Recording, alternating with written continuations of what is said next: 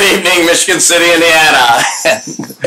uh, what a beautiful day in the beautiful city, and you're looking at a bunch of people, much like those of you in the audience, that believes that the best days are still ahead of us, and we're all pulling the same direction to make that actually happen. Um, we have a modest agenda this evening with only 22 items on it, but we will try to drive through pretty quickly. Uh, if I could let the record show that I believe that all our commissioners are in attendance this evening. And uh, so with that, uh, we'll skip the roll call and go on for the approval of the minutes for the executive session on April 8th, regular meeting on April 8th, and the executive session on April 30th, and special meeting on April 30th. So um,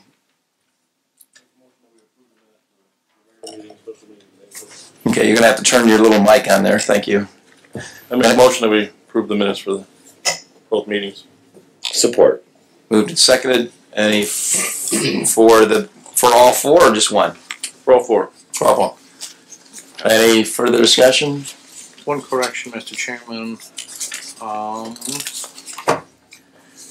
under the discussion, when we talked about the Washington Park entry traffic circle project, and as you remember, we talked about the, um, landscaping project and the, how we got around that, but in the minutes, it's reflected, uh, the word bid is reflected over and over again. If we could just show that approval is of the minutes with the word bid remove, or, uh, replaced with the word quote. And, and the only reason why I bring that up is just because there are significant statutory requirements for bids that do not exist for the same thing with quotes, and I don't want anybody misinterpreting that, so. All right, so I'll let you make sure you get with Deb to make sure that's corrected appropriately. But that would be the only correction, that would just be in that one section as well. All right. Any other comments or corrections? All right, all those in favor signify by saying aye. Aye. Opposed? Thank you. So, as corrected. Mr. Sirnak, we had a, an executive session before this. You have any comments? There was an executive session before this meeting, uh, no items were discussed, uh, that were not permitted by the open door law, and no decisions were made. Yeah, Thank you. Uh, Let's move down to the fi- uh, approval of claims for May. Mr. Phillips? All right, you should have a claims docket in front of you dated May fourteenth, twenty nineteen. On that, you'll note standard payroll items for April of twenty nineteen. Uh, make back up. Oh, sorry, May 13 or May 14? May thirteen, I'm sorry, right, thank May you. thirteen. Thanks. Uh, standard payroll items for April of twenty nineteen. Uh, claims to the operating fund, uh, include, uh, payment to Great American Financial for copier fees for April of twenty nineteen. And monthly retainer, uh, for Alan Sirnek for legal services for April of twenty nineteen. Claims to the North TIF fund include payment to Americo Incorporated for, uh, costs related to the seven oh nine Franklin, uh, demolition project inspection and management. American Structure Point uh, for costs related to uh, the engineering related to the uh, US 12 over Trail Creek project for March of 19.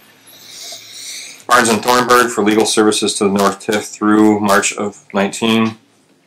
Uh, B and DJ Associates for costs related to the Friendship Gardens project. Butler, Fairman, and Seifert uh, for costs related to Singing Sands Trail Phase 2 right of way acquisition and Singing Sands Trail Phase 2 engineering through uh, the end of February 19. EC Babilla, I think I'm saying that right, um, for Blue Chip Expansion Project roofing costs. Environmental Incorporated for Phase 2 environmental site assessment for property located within the North TIF. Fidelity National Title for title work on properties located within the North TIF district. Garrett Construction uh, for Washington Park West parking lot pay application number five partial. Uh, partial because we're splitting the costs on that with the um, Port Authority. Hitchcock Design Group for costs related to preliminary design services for the Civic Plaza project. Hall Signs uh, for signs related to uh, picking up dog waste on the prop on on the uh, redevelopment commission properties at Seventh and Franklin. Keel Architecture for Engineers Castle Assessment Pay Application Number 10 revised. uh, Laporte County Appraisal for appraisal on a property located within the North TIF District. PR's Lawn Care for landscape maintenance of various properties located in the North TIF District. Roger Brooks International for uh, Civic Plaza uh, design, programming, and operations. Sanitary District of Michigan City for reimbursement regarding vapor intrusion intrusion assessment. Uh, SEH of Indiana for costs related to the Washington Park Entry and Traffic Circle project. Alan Cernick for legal services to the North TIF for April of 2019. Skyline Plastering for Blue Chip Expansion Project, uh, EIFS and stucco related to that project. Stanhope Consulting for Civic Plaza Public Outreach. Um, the Antero Group for costs related to the Waste Inc. project for March of 2019. Valuation services for appraisals for uh, properties located within the North TIF District. And Van Winkle Batten for environmental remediation, environmental mediation, I'm sorry. I believe that's associated with the Trail Creek Properties issues. Correct? Okay. Claims to, claims to the South TIF include uh, payment to Haas and Associates for construction administration and inspection related to the Ameriplex Drive project. Uh, payment to Michigan City area schools for the technology grant uh, for the final payment of our agreement. Alan Cyranek for legal services to the South TIF for April of 2019. Uh, claims to the Ohio Street Construction Fund include pay application number 10 to Rieth-Riley Construction Company. American Structure Point for construction inspection for March of 2019. U.S. Bank for administrative fees uh, associated with the Ohio Street Bond. And Baker Tilly Municipal Advi- Advisors for arbitrage related to the Ohio Street Bond. There were no claims to the Wabash Street uh, Fund, and there were no claims to the Northeast TIF Fund. All right, anyone have any comments or questions on the claims? Uh, Hearing none, what's the pleasure of the commission? Chairman, I do approve. Moved and seconded. One item I will point out on here, and we're gonna get an update from it here in a few minutes from Kevin, is this is the final pay of our technology grant to the Michigan City area schools. And this is for six hundred thousand dollars, and I believe our total commitment fee was three point four million dollars. So it was a million dollars in the first year and four subsequent years at six hundred thousand. So very happy to make that contribution to the schools, and I'm sure we're gonna get a great update uh, tonight, so. We have a motion, a second, any other comments or questions? All right, all those in favor signify by saying aye. Aye. Opposed? Thank you. All right, you wanna run down the financial report, Mr. Phillips? Okay, the you should have a balance sheet dated um, March 31st, 2019. In front of you, on that you'll, you'll note uh, cash items, including the operating account, currently has a balance of $29,506.37. Um, I need to check on the status of the uh, of the city's um, transfer of the funds that we need for 2019 on that. That Okay. should, uh, so we should be receiving the full amount of the balance of, or sorry, the uh, appropriation uh, for the redevelopment department for operating. I'll check on the status of that. Uh, the Southside TIF account has a balance of $13,485,984.17. The Southside TIF debt reserve account has a balance of $336,308.50. The Southside TIF capital account has a balance of $17,715.28. The North End TIF account has a balance of four million four hundred sixty-four thousand eight hundred five eight hundred five dollars and twenty twenty-five cents. The Wabash Street Streetscape Construction account has a balance of one hundred twenty-two thousand three hundred forty-two dollars and forty-four cents. The Wabash Street Streetscape Debt Reserve has a balance of two hundred sixteen thousand seventy-two dollars and forty-nine cents. And the Northeast TIF account has a balance of one hundred twelve thousand seven hundred two dollars and fifty-two cents, uh, bringing our total cash on hand to eighteen million seven hundred eighty-five thousand four hundred thirty-seven dollars and two cents. Loans receivable include a loan to the East Side TIF from the operating account of twenty-one thousand twenty-eight dollars and County Business Loan Fund, our, our portion of that loan fund of uh, one hundred thirty-three thousand three hundred thirty-three dollars, uh, bringing our total loans receivable to one hundred fifty-four thousand three hundred sixty-one dollars and forty-nine cents, which brings our total assets to eighteen million nine hundred thirty-nine thousand seven hundred ninety-eight dollars and fifty-one cents. So, would you go back over the operating account question? Yeah, so we receive an alloc, we, we receive an appropriation, uh, through the city, um, for operating the, for the, for the salaries and supplies and all those things, and we, it doesn't appear that we've received the transfer, um, from the Oh, city okay. yet, and I will look into the status of that. Okay, so that, that number will come up. That number will come up, yeah, Right, and those are substantially. funds that we can't use TIF dollars for. Correct. So that's why we do require some city-approved funds in order to do our job, Correct. so. All right, any questions on the balance sheet? What's the pleasure of the commission? I make a motion to approve the financial report as read.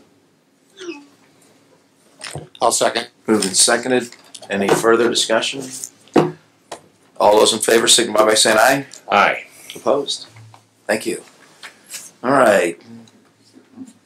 Item number six, liquor license requests. Mr. Cernak, you wanna run through this? Uh, Attorney Anthony Novak and his clients are here. This is a uh, alcohol request, three-way alcohol request um, for, on behalf of uh, Mucho Mas and Royale with Cheese, both of which are located on Franklin Street in the, uh, um, well, on Franklin Street, uh, and have been there for, and Mucho Mas has been there for two years, and I want to say that uh, Royale with Cheese has been there for over a year. Both have been there. Both are established. Both are year-round operations. Uh, Commissioner Ob- Oberly and I have met with uh, the applicants as well as uh, Attorney Novak, and um, as far as I would go anyway, and, and Commissioner Oberly go for can go further, but certainly their application uh, now meets the uh, uh, the requirement that this commission has established for the past several years. So, Anthony, you wanna give us a little overview? Yeah, if you don't mind, I Please, please, do. we'd love to a little bit of presentation. for both applications, please. Sure, uh, and I'm here with Frank Marufo, and he's certainly able to answer questions uh, as well. So, my name is Anthony Novak. I'm an attorney with Newby Lewis, Kaminski and Jones in Laporte. I'm here on behalf of both of the restaurants tonight, both Mucho Mas and Royale with Cheese, uh, both seeking a three-way riverfront license. Um, while both of these restaurants are and will be operated as separate and distinct entities, because they say, share the same uh, familial ownership, being Frank and Jose Marufo, both of which have collectively over 25 years in the restaurant business. Uh, we will be presenting uh, both together tonight. As Mr. Cernick indicated, we did submit an application previously which had information about both of the restaurants, including financials, menus, floor plans, and other narratives about the business. So, a little bit of background about these two restaurants. Um, both local restaurants are open running, um, and both are members of the Michigan City Main Street Association. Let's talk a little bit about Mucho Mas. That's located in the heart of the Uptown Arts District at 727 Franklin Street. Um, Frank describes its menu as a blend of traditional Mexican food with West Coast flavors and an emphasis on fresh and organic veggies and scratch made recipes.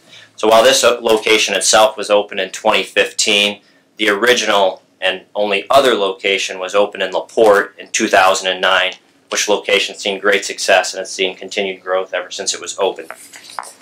When the Michigan City location opened in 2015, the Marufos invested approximately $40,000 into the building, um, and ultimately Mucho Mas employs 10 people, three of which live in the UAD.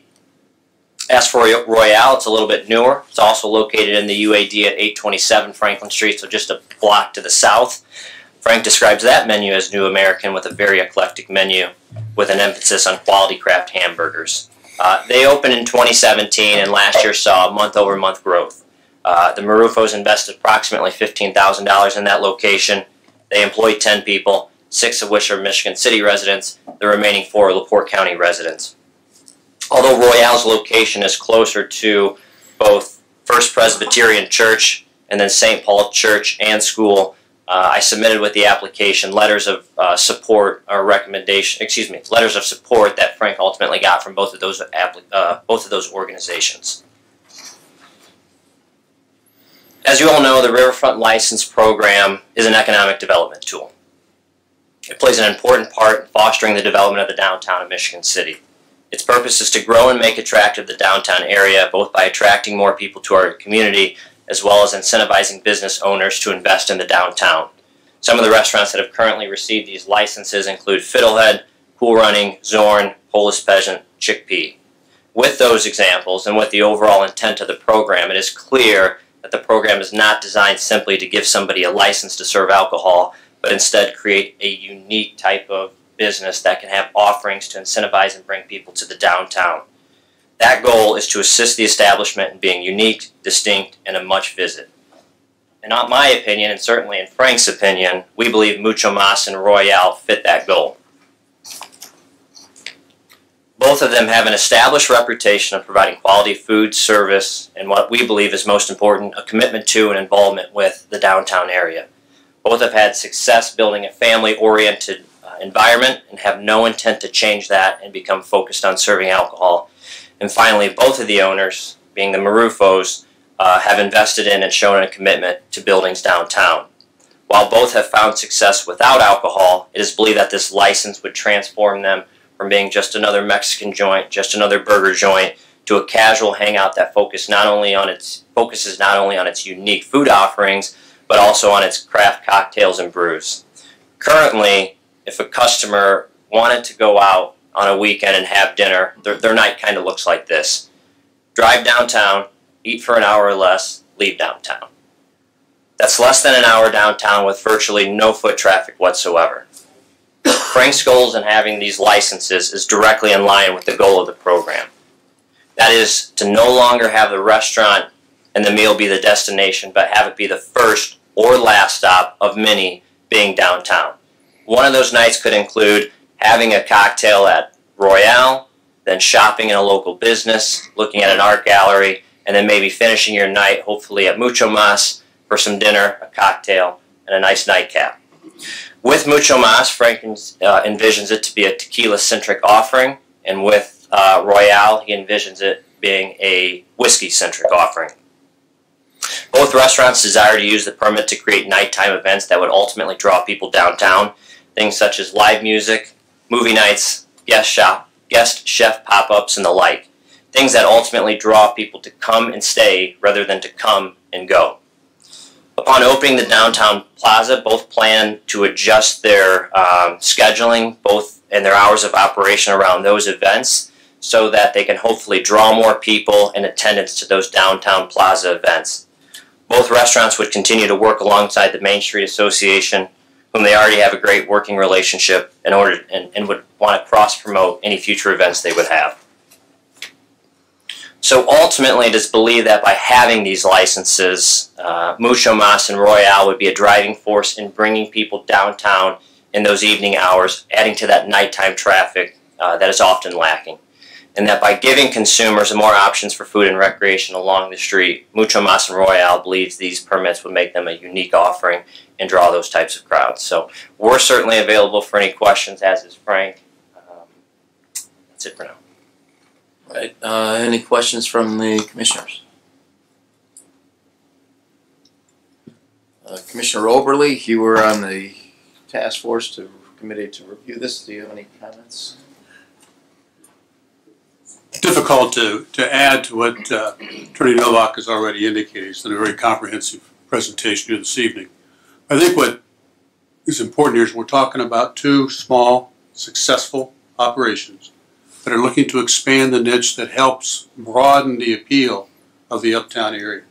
That by expanding the hours, uh, attracting people back into the to the evening, that it gives us additional viability in terms of filling other spaces downtown uh, as, we go forward with our developmental projects on Franklin Street itself.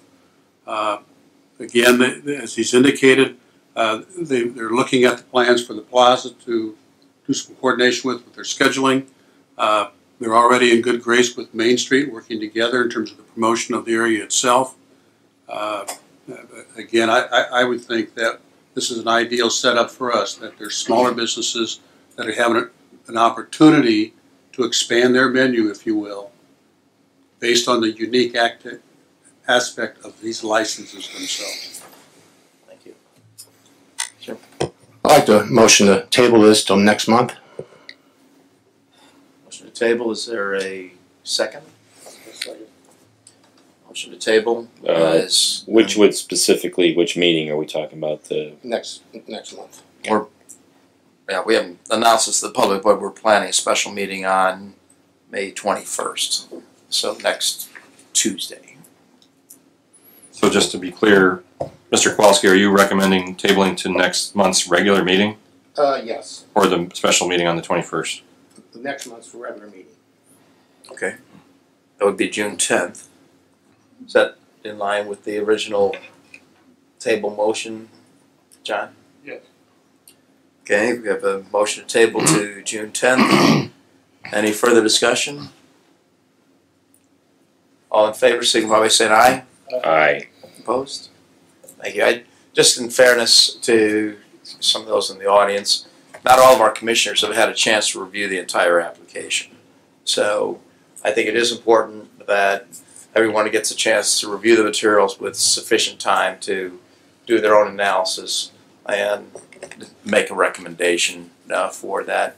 Uh, it is an exciting opportunity for us and, and I, I think uh, it's good for the city. However, I do think it's important that we appropriately give everyone a chance on the commission to review the materials. So, And if you guys could just let me know if there's any additional information that you would ultimately need, I'm sure that we'll both be glad to um, supply. all right. Thank you very much. Thank you for your investment in Michigan City. It's much appreciated. So, all right. Uh, let's go to. Let's see. Is it Jerry McGuire's brother, Kevin McGuire? We have the technology grant report. Show me the money. Good evening, commissioners and community. Um, as we have come accustomed to now uh, for the last uh, couple of Mays, we uh, given you a follow-up report on uh, what has happened this school year. Um, you have two documents that I laid in front of you. One is the uh, planned expenditures for next year. The other is the update of uh, what happened last school year. So when you get a chance, please uh, go through those. If you have any questions regarding those, feel free to email me or contact me, whatever is most comfortable, and I can follow up with you with those. The first thing I just want to point out on the uh, spreadsheet um, in front of you, just uh, if you compare those to years past, it's going to be very similar. The big difference is the hardware budget we have increased this year, um, and the primarily primary role of that budget is going to be expanding our PLTW capabilities in the at the high school primarily, um, as well as uh, our digital arts class. So again, focusing on those college and career readiness courses and uh, make sure our students are uh, well prepared. We have needs uh, specifically in the computer science uh, areas um, to add some newer and more updated uh, CPUs in those classrooms. So dollars will be going directly towards those. And then, as always, uh, for compared to years past, uh, roughly 75% of the budget is going to staff development, making sure that our teachers are prepared to use the technology in the classroom and can continue that project uh, with the instruction.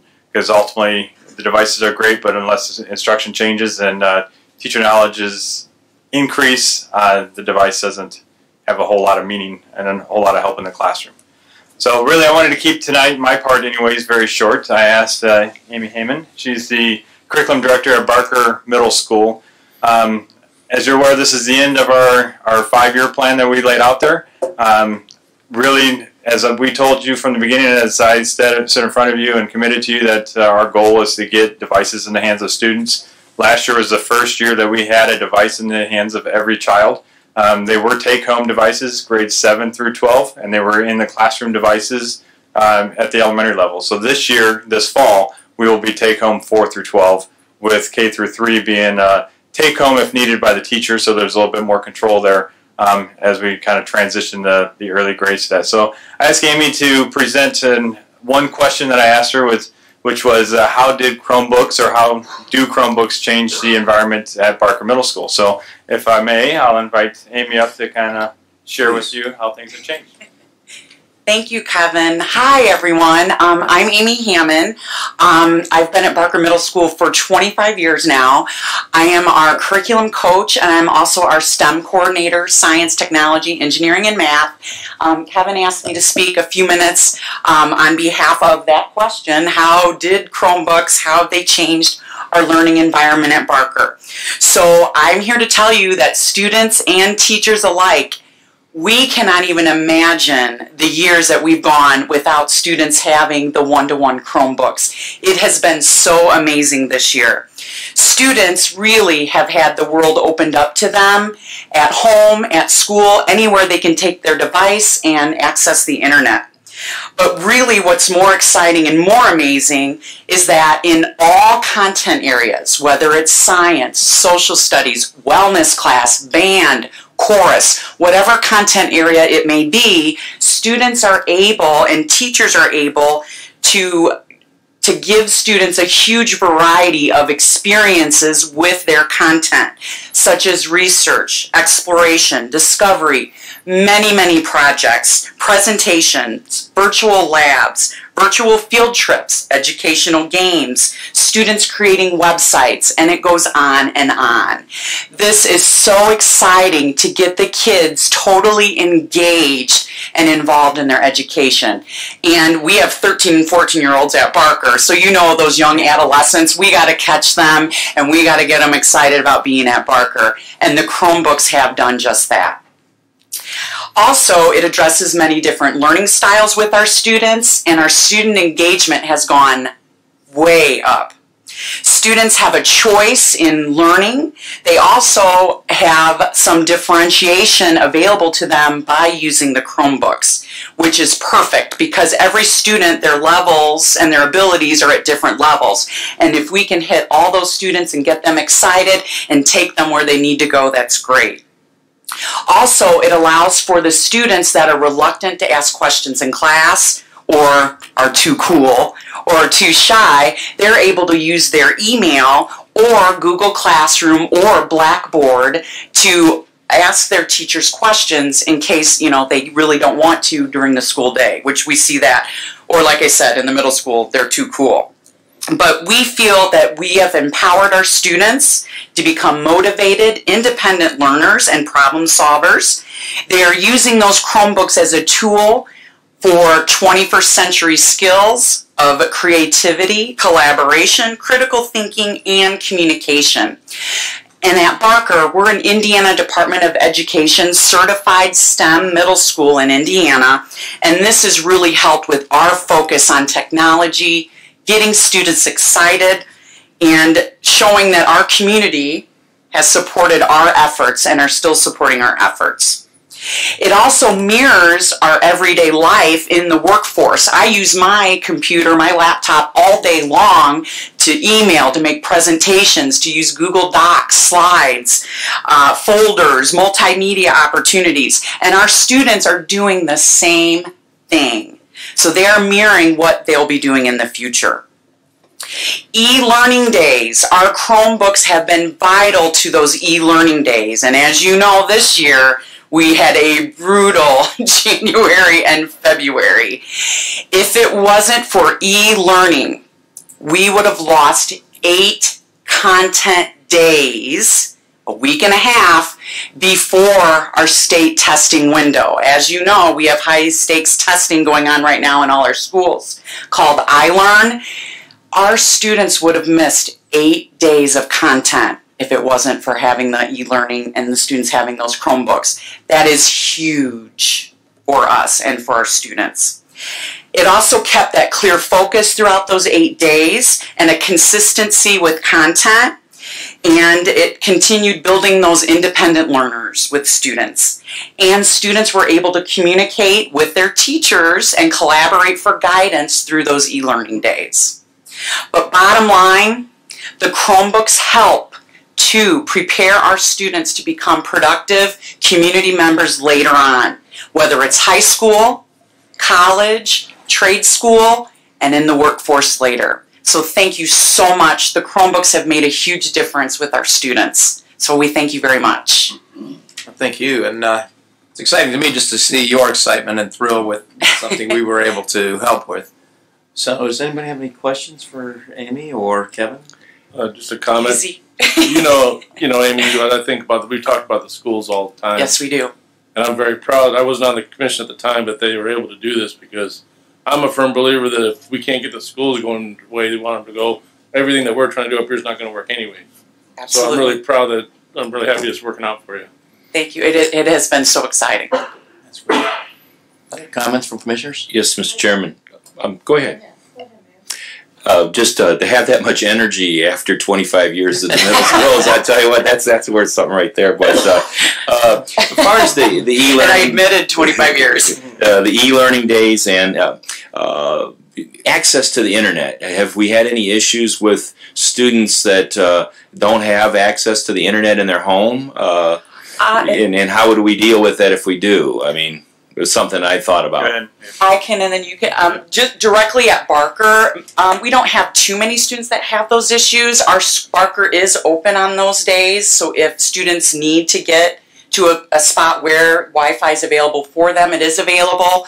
Um, students are allowed. Um, I think it's three days after the e-learning day. So if internet was an issue, which at my house internet sometimes is an issue with my DirecTV, mm, I shouldn't say that loud, but sometimes I don't have internet access also or TV on those heavy snow days. So we address those those items that way. But students seem to be um, able to get that Wi-Fi access. So The challenge has been is what they consider to be broadband access and what we consider to be broadband access. And what we're learning is the cell phone is becoming a great tool for our students. So um, it's been a professional development actually process for us to train the teachers that not everything's happening on the Chromebook. Students do have access to it, but they don't always have internet access where their cell phone, the smartphone, is always connected. So it's really how the content is being presented to them and the tools that the, the teachers are using. But to, it, there is an issue. It is one that we're trying to address. I think uh, our conversations may, in further, you know, this develop some opportunities for us and for the city to try and um, bridge that gap a little bit better. Thank you. So you said Sparker, or did you say Barker? Is there Barker. Barker, okay. Barker, so but we sparkle, if you if you will, Yeah, I'm, I'm if you want to get it confused. No. So um, it's a hot spot that they can get to without being in the classroom. Is that right? All of our buildings are, yes. Okay. So, and so, what's the accountability for the teacher to get back to the student? So they get an email at eleven o'clock at night. Do they? How do you work through that stuff? Yeah, so our teachers are required to have, if it's an e-learning day, our teachers are required to have their um, assignment, their instruction, whatever it may be, by nine o'clock the following morning. And principals are keep them accountable to that. Okay, so they have to respond by not, no later than nine the next morning, right? Or- Correct. The assignment has to be posted, and then they have to. Part of the teacher's responsibilities throughout the day to make sure that they're communicating with parents or with That's students that have issues. going. Yeah. So their their work day becomes uh, e day as well, just working on the computer. And I can tell you, many of them have come back to us, and they don't like e-learning days just as much as some of our parents don't like them because it it changes the workday quite a bit, and not being in front of a student, certainly myself included, certainly changes how you support those individuals. So it, it's a bit of a change, it's, and it, in many cases, it's more work. So, other questions or comments? Uh, so, go ahead. I'm sorry. I just had a comment. I just wanted to state that, um, Kevin, you, the staff, all of the staff at all of the schools, administration, have really done a tremendous job. And I don't know how you did it with that e-learning in January, but I know that was an extremely hard task for not just the students, but the parents too.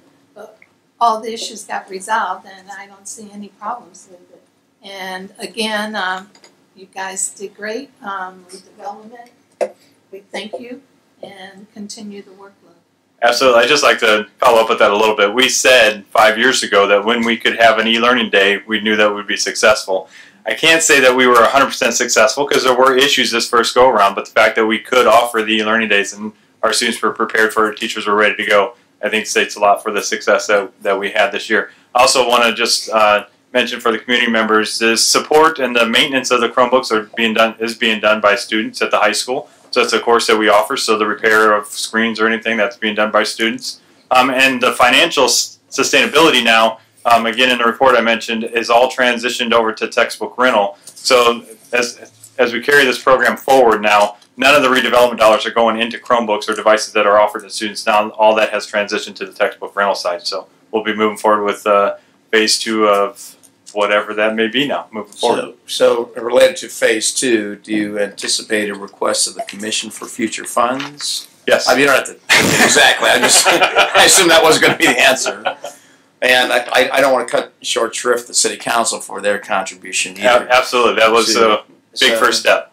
Right, and so I would anticipate that, just given the feedback I'm getting here, that assuming that you approach both the city council and the redevelopment commission, that we'd be receptive to an, a future request. So, and we appreciate that. We are at the very beginning stages of our planning process. Um, we are finishing up our next year staff development uh, process for the, the teachers, our two hours uh, a month after after school. So once we get all that laid out, we'll certainly be back in the fall to continue the conversations to see how the next round, um, where our, our focus is going to be.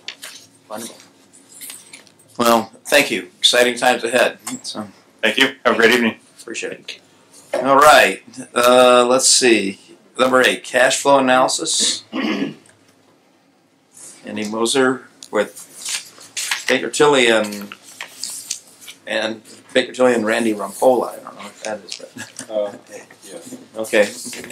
Randy isn't able to join us this evening Sure. um, due to another commitment that's overlapping. Um, but Andy Mauser from Baker Tilly, former formerly Umbaugh, um, or combined with Umbaugh, uh, is here to give us a our annual bonding capacity and cash flow analysis. So, turn it over to him. Thank you and good evening. I'm just going to kind of quickly go through the bonding capacity and cash flow analysis.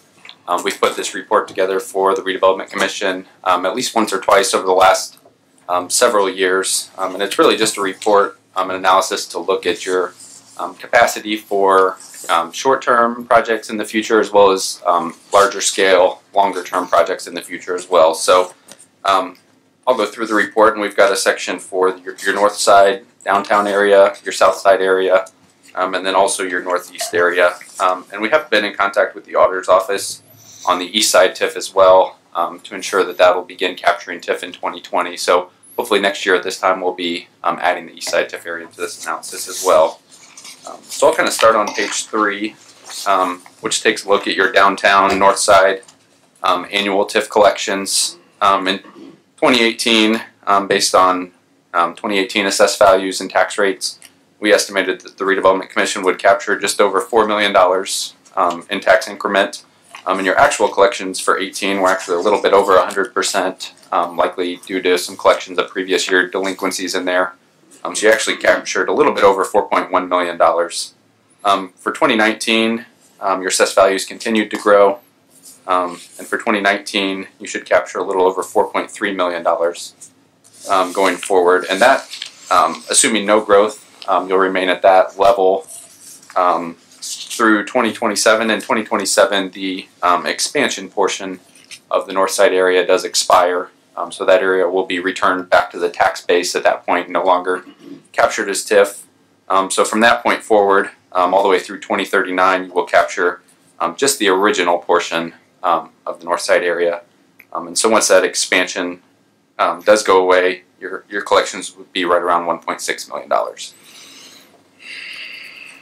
On the next page, page four, we've taken a look at um, a couple of the larger scale projects that the Redevelopment Commission I know is considering, um, one being the Central Plaza project, um, also looking at potential station block project in conjunction with the South Shore project.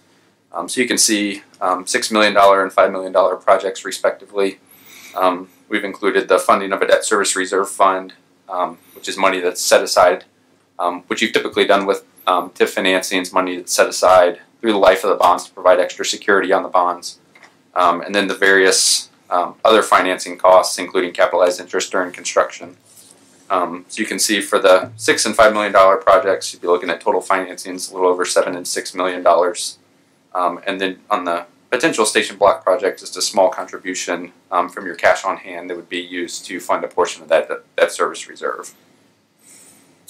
So page five takes a look at um, potential payback for the Plaza project, um, assuming those bonds would be issued this year.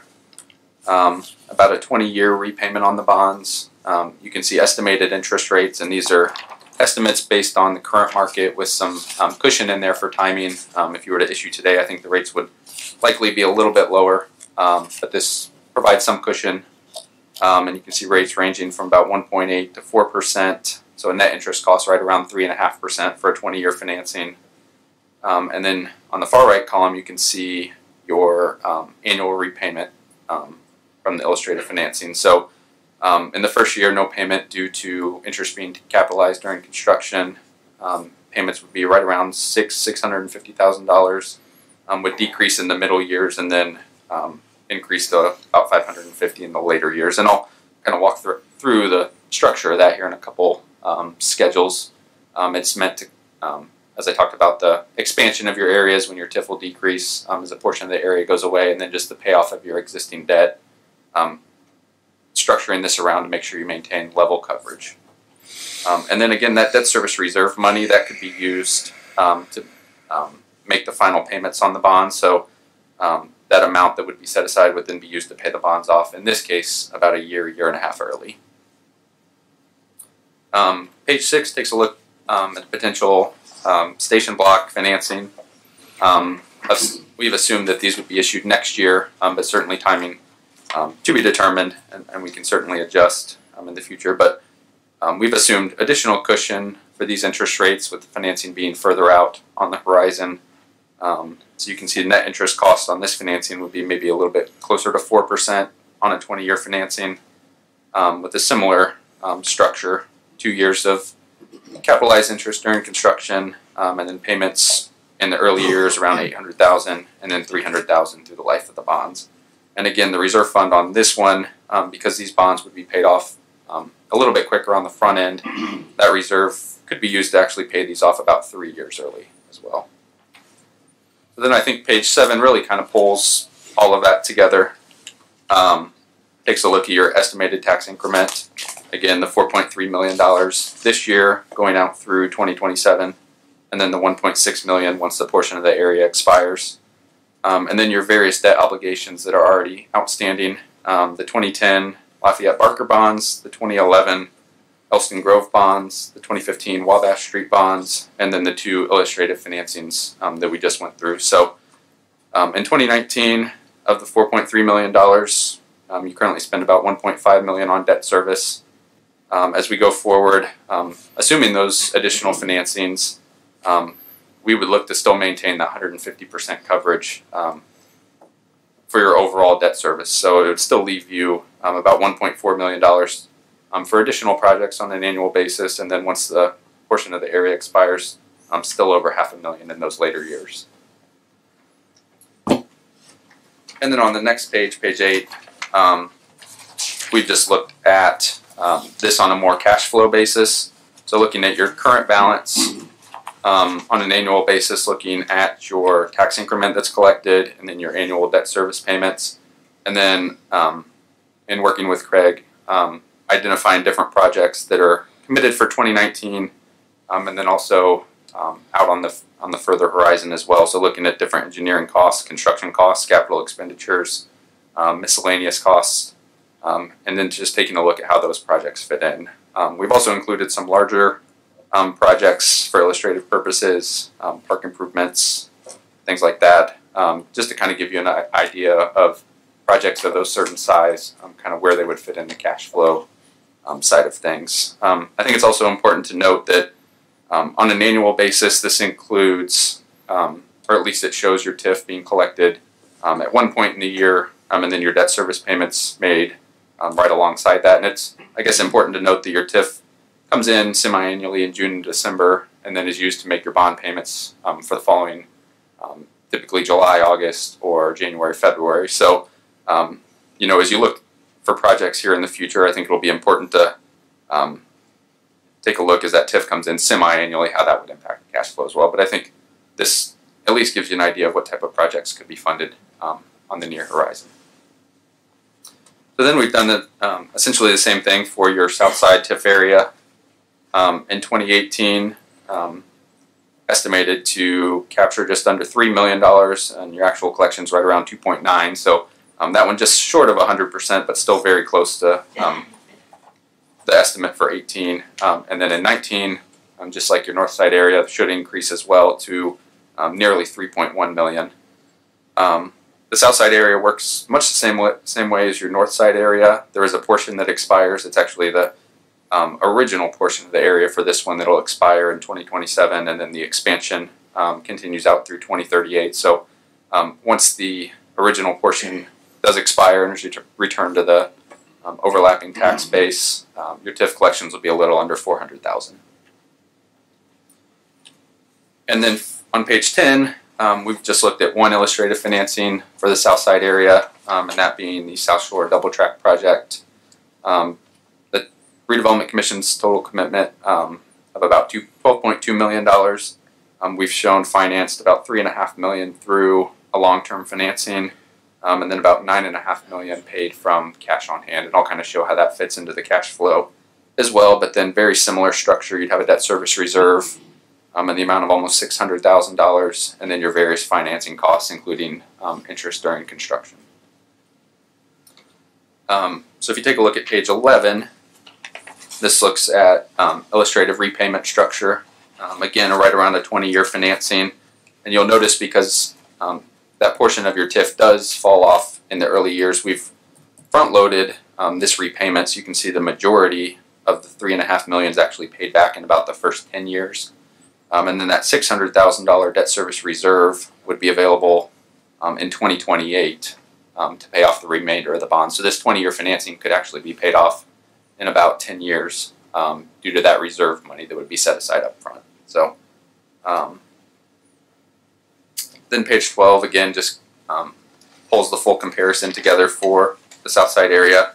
Your three point one million dollars currently, the four hundred thousand in twenty um, beginning in twenty twenty eight and that's just compared to your 2011 bonds, um, which refunded the 1999 bonds that were issued for the town center project, the 2015 bonds that refunded the 2007 bonds that were issued for the County Road 400 North project, um, the 2018 bonds that were issued last year for um, the Ohio Street project out by the new hospital, and then the new illustrative bonds for the double track financing. Um, and again, we've tried to maintain that 150% coverage going forward as well. Um, and then page 13 again takes a look at your um, south side cash flow, um, current balance. Um, we've identified different um, engineering, inspection, capital, miscellaneous costs. Um, also identified the portion of the double track that would be funded from your cash on hand and the corresponding reduction to your balance there. And then the portion that would be funded from bond proceeds. and then again, like your north side area, we've identified additional larger long-term projects um, in the later years as well. And then um, finally, we've done this for your northeast area as well, um, the GAF project. Um, in 2018, collections for that area were estimated right at 268,000, and your actual collections were um, pretty much exactly right on Two dollars. two dollars. Um, and that's based on their real property, so their land and their buildings, and then also their personal property, which is their um, equipment at the site as well, which is captured as TIF. Um, 2019 numbers should be very similar, um, increase um, just slightly, and then that area was set up in 1999, so it would have a 30-year life. So um, you would still be able to collect that TIF all the way through 2030. And then page 15 takes a look at the comparison for your northeast area. So currently, um, the 1999 GAF bonds um, the redevelopment commission is only obligated to pay 90% of what you collect, and then the company um, pays the remaining portion of those bonds. Um, so the 273,000 that you'll collect this year, you'll pay about 245,000 towards the bonds. Um, the company will make the remaining $250,000 payment, and then you'll have about $27,000 remaining. Um, once those bonds are paid off here next year, um, you'll have that full 100% TIF to work with. And then on page 16, we've identified um, just a few projects um, to be paid from the Northeast area, um, including the Karwick Nature, Cheney Run um, projects, um, which can all be paid out of your current balance. So um, behind that is just all your existing debt schedules. I won't spend a lot of time on those. There is just one I wanted to highlight, and I also had passed around some bond schedules that I just wanted to hit on just briefly. and actually, the first outstanding bond issue on page 17 is your 2010 Lafayette Barker bonds, um, paint from your north side area um, as we went through that portion of the report. Um, those were issued in 2010, and then the remaining interest rates from 2019 all the way through 2033 um, range from three three point nine to five percent. Um, we do think that there could be some potential savings from refunding those. Um, we've done a number of refundings with the Redevelopment Commission in the past, um, and that's actually one we had looked at back in 2017. Um, in 2017, there was right around thirty thousand dollars a year of savings. Um, those bonds are not callable until this coming February, and with the tax uh, Tax Cuts and Jobs Act in 2017, it eliminated the ability to refund um, more than 90 days before that call date. Um, so when we get to the end of this year, you'll then be within that 90 day window to be able to refund these. And based on current interest rates, um, kind of based on where we think the market is currently, and then actually um, we've received a couple proposals from um, different underwriting firms as well. And it looks like savings on an annual basis could be right around $50,000 a year. So that would certainly um, improve the, the cash flow numbers and um, the comparison schedules that we went through as well. So something's still on the horizon, but if um, that's something the redevelopment commission would be interested in pursuing, um, could certainly look at um, approvals in the coming months and then um, trying to price bonds uh, later this year to close um, prior to the end of the year. So Right. Uh, questions or comments? I, yeah, I Sure. have a question. So I noticed that. Oops. So I noticed that on page.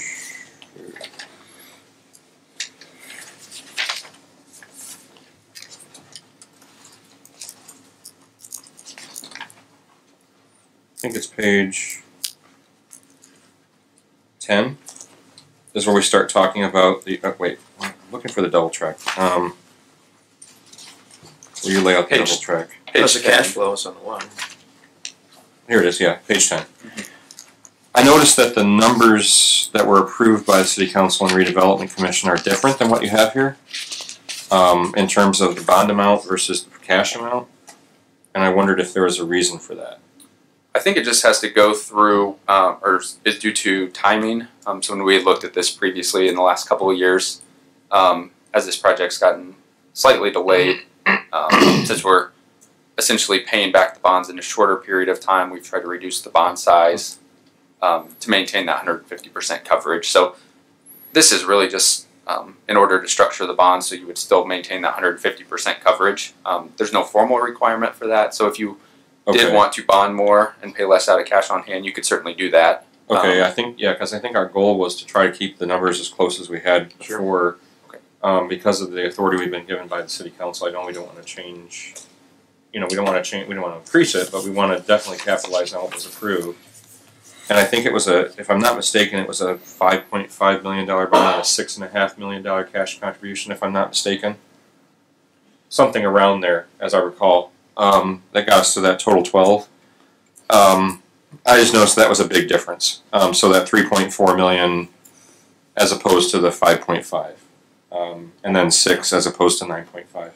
So it was a big, it was a big difference, and I just wanted to ask about that. So, um, when it Well, we definitely need to clarify. so when it comes time to actually um, go through that process, that we'll want to look at those options and discuss what you know what the coverages are. But I was just taking I, I, I was just kind of surprised by those numbers because they're so much different than what we had originally what we had originally discussed. So I just wanted to ask about that.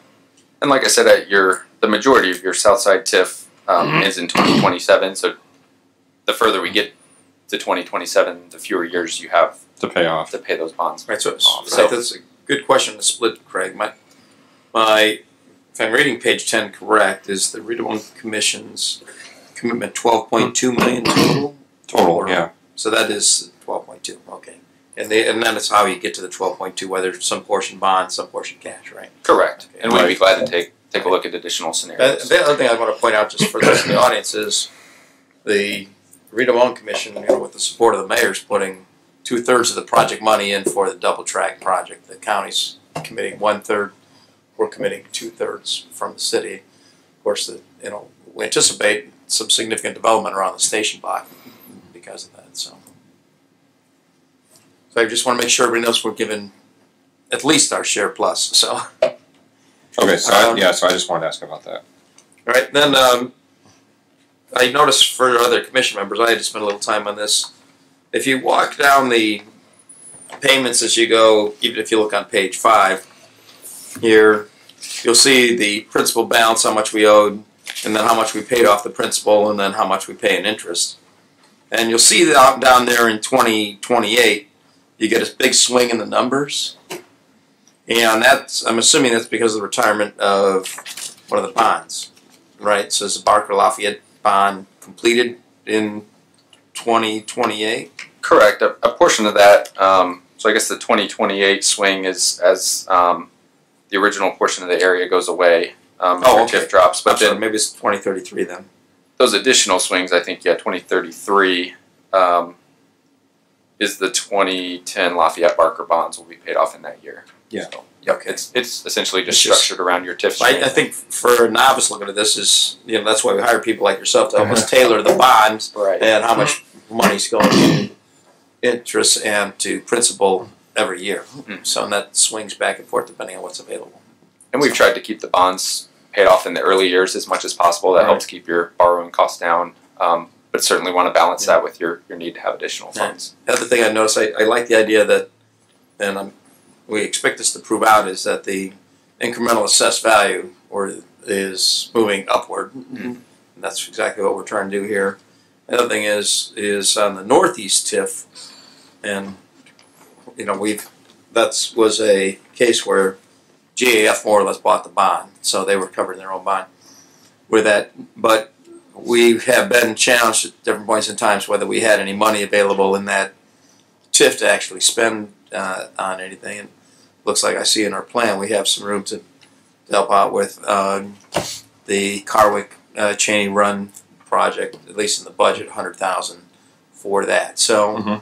uh, that tax increment uh, was a good investment by the city in the first place to help with the bond, as well as we have a tax increment coming in that now is actually going to be able to put into play for the rest of the uh, north end. It's kind of what my little summary is. so, the other questions or not? It's definitely complex, so and that's why we need good advice. All right, hearing none, uh, thank you very much. Thank you. Go ahead. So just real quick, since we have Andy in front of us, I just wanted to let the let the commission members know. I think it's June tenth. I think was our plan to. We'll be sending out invitations to the overlapping taxing units um, with regard to um, a meeting that we need to have with them to explain basically the same information to a certain extent um, to basically prove that it's our plan to uh, utilize the the tax and refin- tax and refinancing revenue and we have to kind of itemize how we plan to use that and show that to them. So the work that's been put, you know, that was done to put together this report largely will cover the requirements of what we need to present that day. Um, but we'll j- just want to give the All right. Well, plus we have we have more that. requests out there than we have cash, even though it looks Right, like right. Um, but just to give you know, uh, give you a heads up that as part of our, I believe it's our June tenth meeting, we're planning on having that um, presentation to those overlapping taxing units So with the help of um, our friends from Baker Tilly, and uh, I believe Randy Rompola will also be on hand for that in case there are any questions from the taxing units um, that we can't as as readily answer, perhaps. So just Well, a do we have to officially accept this or anything? Okay. no, thank you. We're good to go. Thank you. Thank you very much. All right, so number nine, Ohio Street. Uh, change Rich Deal. So let me preface this. Um, so we have uh, Richie Deal, who's our um, project manager representative on site.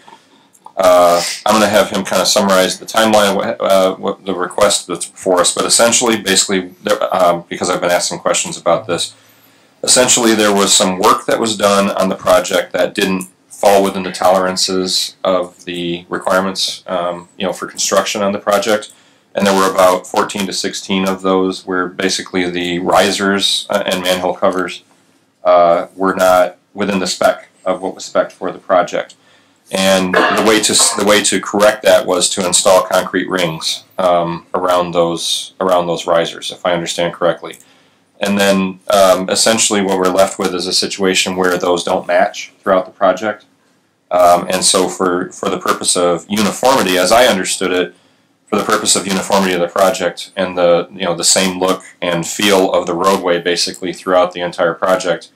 The request that's before you for the the fifty four thousand one hundred thirty-two dollars was basically so so that those um, rings that were the rings are installed so that there's a uniform um, appearance to the uh, to the project, but also I think so that the roadway uh, as it as it interacts with the um, the riser and manhole cover at each of those locations um, wears you know equally and evenly in each of those locations as well. Maybe you can explain this better, Richie. I think You're that's a basically summary. basically right on. There were uh, 12, 12 to 14 castings that were low that I had Rieth-Riley. Oh, 12 to 14, sorry. It I said 14 to 16. It doesn't matter. It's it's, it's relative. But there was 12 to 14 that were low that I had Rieth-Riley repl- fix on their dime. Uh, once that was complete, I had a request to do the rest of the structures on the project. I believe that was okayed, and I went ahead with it. Um, I believe a, a lot of what people feel when they're driving on that road is there is there are a lot of castings and manholes in that road. We're talking 65 manholes within about a mile of road. I think 43 of them are in the southbound lane. That is a lot of handwork to get around those manholes when they're paving, when they're actually installing the asphalt. Anytime you stop that paver, lift up, get out there with a rake or a shovel and start doing handwork, you're going to feel a little bit of, you know, play in that road. It's not going to be perfectly uniform like an airport runway would be where there's nothing in the way. I think that's, you know, we, we did what we could with adjusting those structures. They sh- I'm confident that, you know, the subgrade's fine. There shouldn't be any problems with the density of the backfill or anything underneath the roadway. And uh, it's just, there are a lot of, of castings on that road. Anytime you drive over one, you're going to feel it, whether they were perfectly flat to grade or not. You're you're you're going to notice it. It's just where they're placed. They're right in the wheel lane.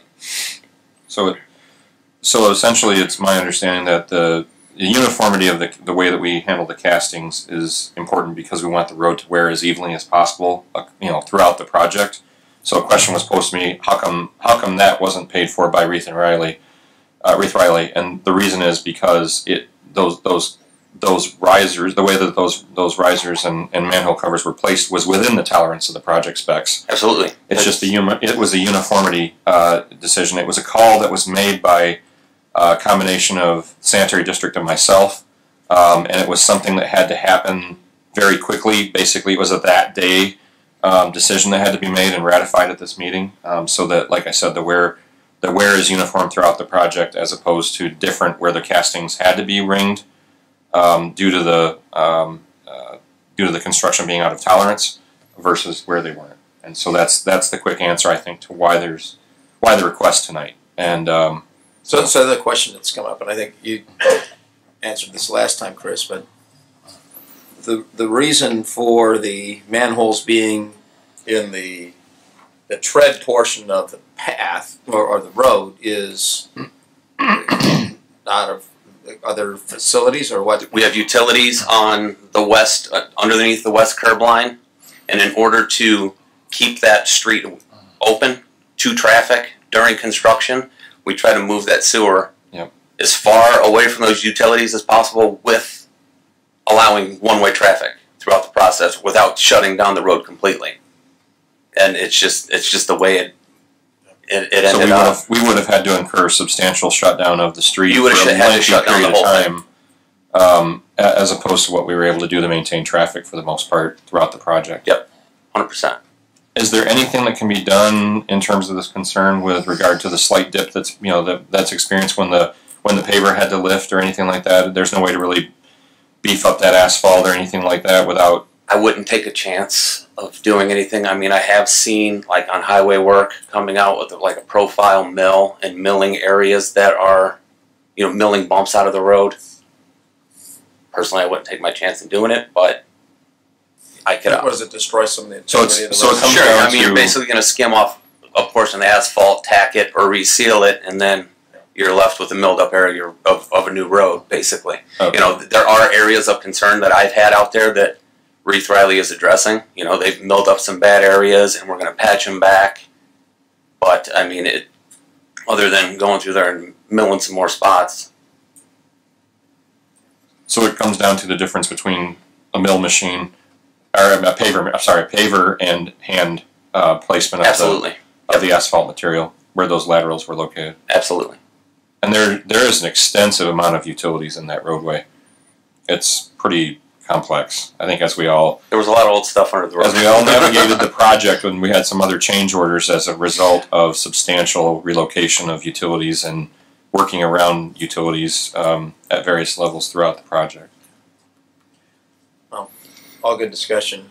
What about the rattle on those, some of the manholes? They're shaking when they uh, you go. Yep. And I talked to Mr. Murphy about that before I got in here. I'm going. I marked out probably a handful, seven to ten myself, that I drove over and felt it. The, the lid's jumping. Mm-hmm. Mhm. What I believe is when they did the all the adjustments on those castings, I mean they took those things off and put them back on. So they freed up the tack and the asphalt that was placed over the castings at one point. But I'm going to pull up those lids myself, make sure everything's clean underneath. And I did put out uh, an email to Rieth-Riley to see if they have any suggestions on how to keep these things down. I don't want to do anything that's going to affect sanitary. I don't want to put anything, any tar or anything underneath the lids where if you guys need to get into a structure, now you can't get the lid off. I think over time, road grime is going to get within there and it's going to hold it back down. You can tar the I've seen in seam. the You can tar the seams to keep it from jumping, and then when they pull it up, they'll have to retire it every time. Exactly, and it, sometimes sanitary won't be able to get those lids off. I mean, it'll be actual work to get something, you know, get a So I lid guess off. I- I guess because my- the grime.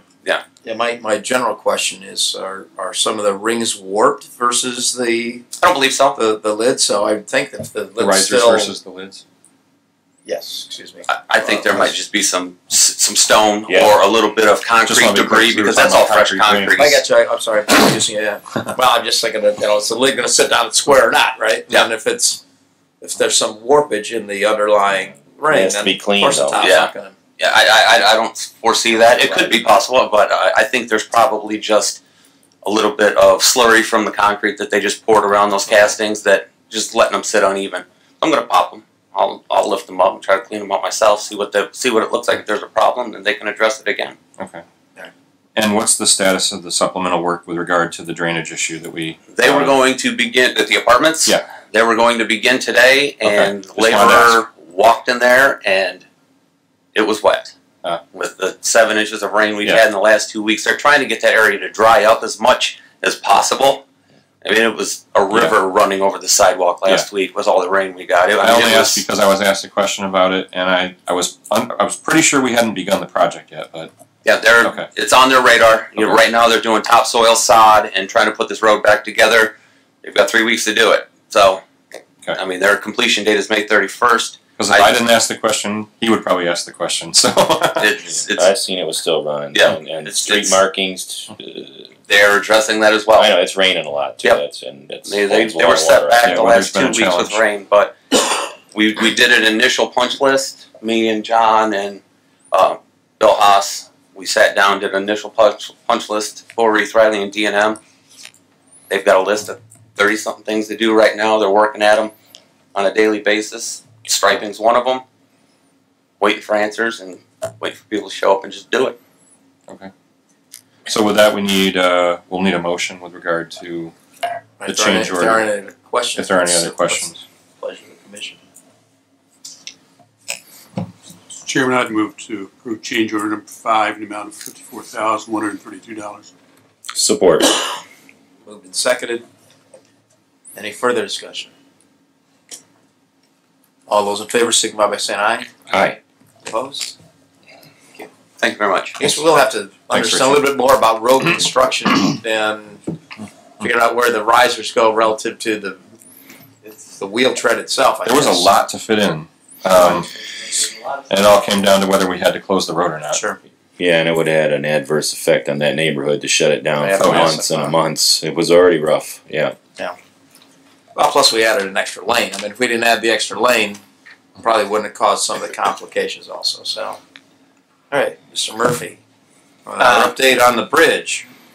Okay, good evening, Commissioners. Chris Murphy with Structurepoint, and, and I I know that was probably more technical construction information than the the typical meeting, uh, as we discussed, but uh, as Rich noted, it was a a complicated one mile of road, uh, not only with the the existing uh, facilities that were there that we had to keep in place as much as possible while we fixed, replaced, or enlarged uh, those facilities with the new facilities that we put onto the pavement, all while keeping one lane of traffic open at all times. So it worked as, as conveniently as possible for the community uh, during that construction. So I, I appreciate the community's um, um, uh, tolerance of, of that construction, and, and we're, we're very close to delivering the final product, and, and uh, for many years of benefit to the community to come. So thank you very much. Uh, also, also want to note that, in, in, uh, I appreciate the, uh, the investment the commission's made in, into the schools and the computers. Um, as you know, I, I'm an engineer, and uh, and uh, I'll be retiring in some years uh, here in the future. And it's good to know that the middle school students in, the STEM Barker School, uh, hopefully somebody will want to pursue a civil engineering career and be ready to replace me as uh, the job opening becomes available. Uh, it's good to good to hear. Uh, on the the um, US 12 bridge over Trail Creek project, INDOT has bid that project. Um, it, came in slightly over the engineer's estimate, but not uh, great enough for INDOT to consider it a, a, uh, a bad bid to rebid. So indication is INDOT will award that um, contract uh, to um, Superior uh, Construction. Uh, and they are a, a, uh, an experienced bridge builder for INDOT. Structure Point's worked with them in the past and, and they do um, very good work So that was the notification that I got, initial, the, the initial notification I got from Amber Thomas. Correct. Um, that it came in slightly over, but it's within the tolerance. Correct. So they accepted it. Okay. Right, or that's their intention. I, That was their I don't know if they've okay. approved Um, that yet. Because I had gotten that correspondence from her and I was gonna ask you about it, but I just got it, so. Okay. Uh, I hadn't had a chance to follow up with you on that, so I figured that was the case, but I wanted to ask about it, so. It's, it's not, um, I don't think it's out of the, let's see, I was looking for the information.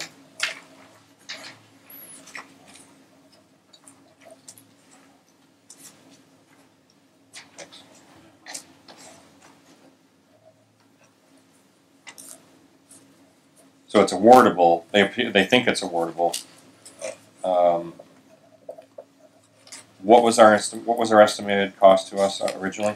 I, I don't- remember the exact number, um, but it, it was uh, somewhere in that area of uh, four hundred and some odd thousand dollars. Yeah, so it's not out of, No. it's not out of like, uh, it's within the tolerance, which again, the tolerance is twenty percent or. Uh, no, sorry, I'm INDOT, INDOT's tolerance on the overall uh, bidding is uh, usually five percent. Five percent, sorry, yeah. Now, it, the, the actual um, units of cost to the project that Michigan City is responsible for may have come in at a greater percentage on those individual elements than uh, what the overall bid did. But it's not, uh, a- it's not a substantial dollar. No, amount. it's not. Okay. And then, if they award this, then they'll notify us when we need to submit the payment Correct. for the, for our aspect of the project. And, and that will be uh, sooner than later. Yeah. Um, When they award, they'll send an invoice uh, for the full amount. Okay. You need this back? Uh, No, you can have it. All right. So railing design concepts. There we, there we go. Uh, Put together a, a number of ideas. Uh, Ted Bleeker, who's a, um, a landscape architect with our department and has some experience with decorative rail elements. Um, I asked him to uh, spend a little bit of time on it um, uh, with some research of elements that would uh, fit the characteristics, the context of, of not only Michigan City, but maybe particularly that area that Trail Creek Bridge is located in. And he put together uh, some ideas uh, for your consideration. Um, these ideas are, are typically bolt on to the railing system that's in place as opposed to other elements that could be fabricated into the structure of the railing itself. Um, and, and I asked them to take a look at that first to see if, if that would, uh, um, if it would provide some elements that would be of interest, uh, because that is the easiest element to actually attach to the structure. Uh, It's probably less costly as well. less costly um, to, to um, integrate an element uh, would be more costly in, in the fabrication of the railing itself, the railing structure. Um, So I, I asked Craig to um, present this uh, to each of you uh, this evening uh, for your review, uh, and I open it for any discussion uh, that you might have on particular elements of favor, disfavor. So a simple one before we get into the uh, actual question. How robust are the colors in terms of you got several of these that are have images on them?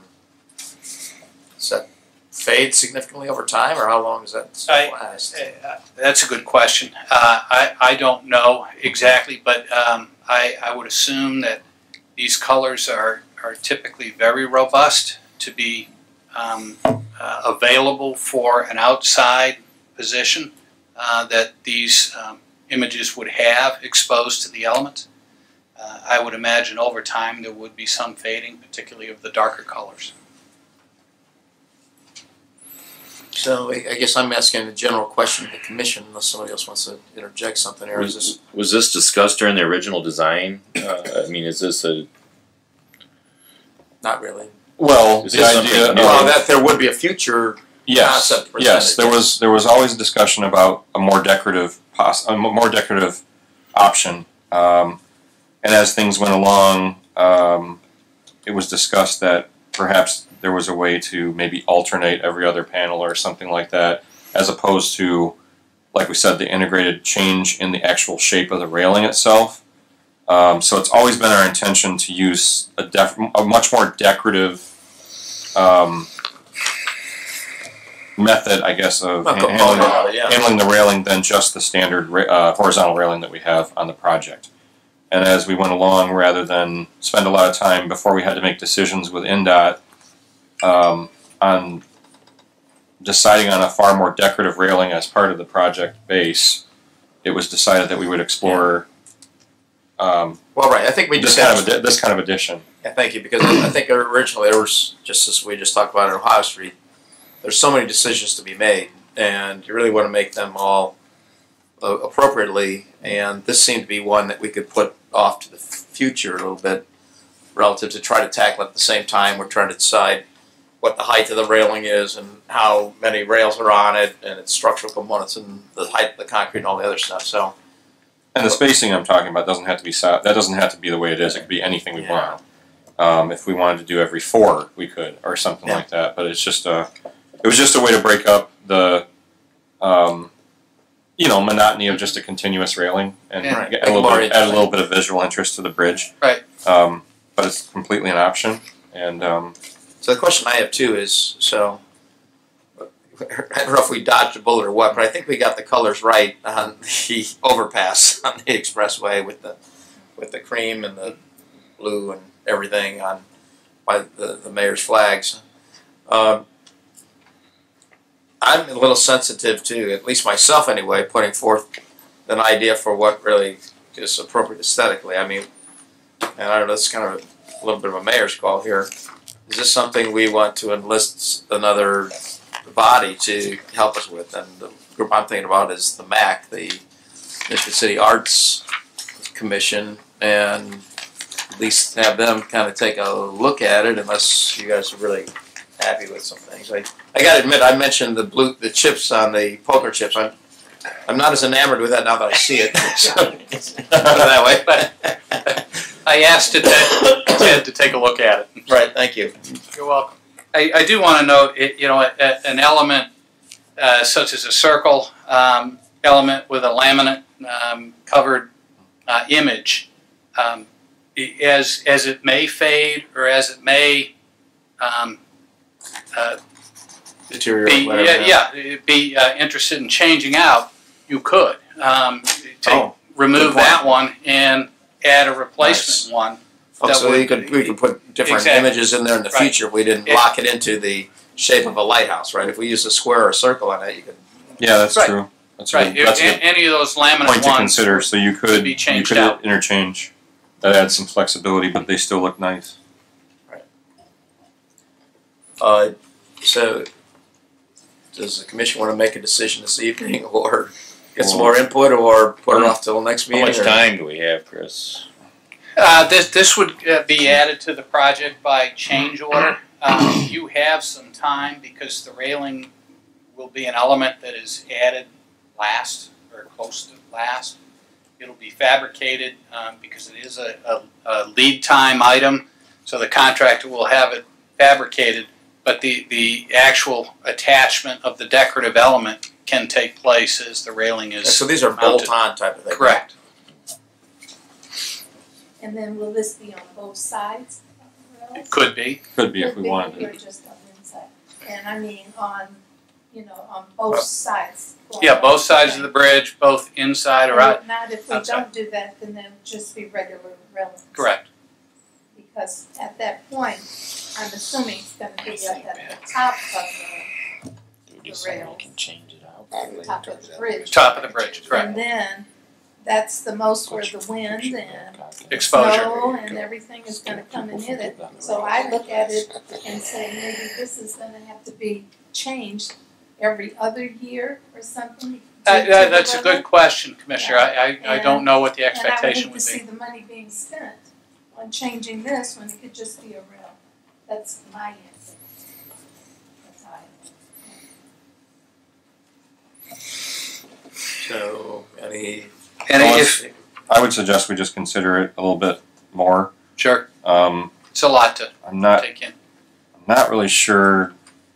Don, no offense, but I'm not really sure what the MAC would contribute to this. To be honest, I just, I'm just asking a, a defined organization to look at art in the community, I mean, they, they're supposed to be kind We'll probably end up with sculptures up there where it's over. They do good work. I, I will note, uh, on the last page, there, there is shown uh, on an actual bridge, the musical notes that are actually Sure. stainless steel bolt-on elements Right. that, um, uh, it still could be changed out in the future, but they would be more permanent, um, than, than the, the actual laminate that would be included within this decorative element. I figured we'd have portraits of all the mayors that we've had in Michigan City over time, it's on there. Me and Pat decided on you just a minute ago. So I- Uh, okay, I think we'll put this on a future agenda item then, unless somebody else wants a different recommendation this evening. I, I would invite, certainly, if you have questions to see something further, um, you can notify me directly, or notify Craig, and we'll compile a list Or if there's additional a questions. commissioner wants to be on, quote, the committee for this, anyone want to volunteer for that? Are the rails themselves required to be straight like that, or can they have uh, a wave design to them? Uh, they can have a, a pattern designed to them as long as the openings between The the, elements of the railing are kept to the, the appropriate uh, gap, uh, Mm-hmm. minimum gap uh, opening, so nobody can actually fall through. So we could have kind of a Particularly wave children. dune kind of sw- those are, but yeah, just to know, those would those definitely would be more expensive. They would, Yeah, yes. because you got to do all that bending. Okay, I guess future agenda item unless somebody else wants something different.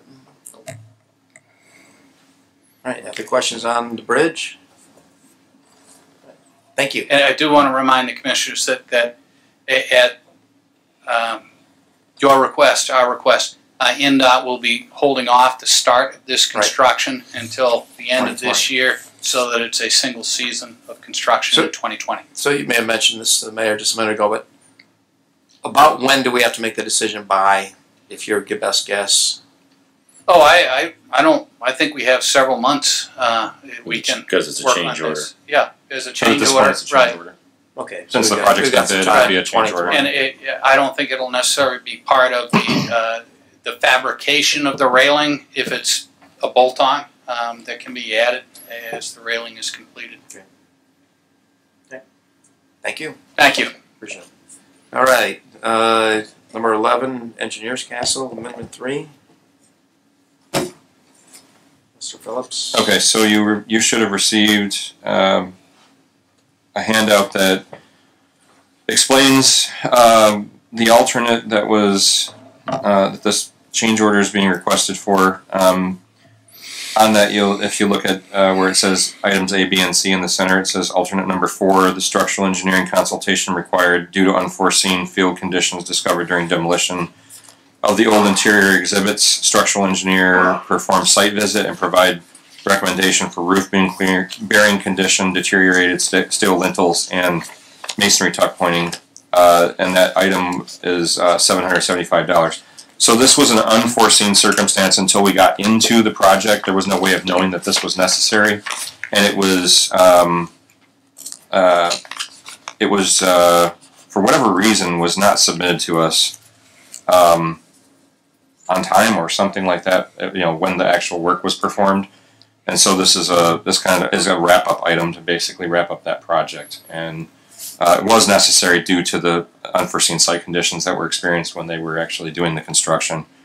Um, so it probably could have been submitted to us earlier, but it just wasn't. And um, but it doesn't make any. It doesn't affect, you know, the the the con, uh, you know, the the project outcome. Um, in that it would have had to have been done anyway. Just a matter of the timing of when we received this change order.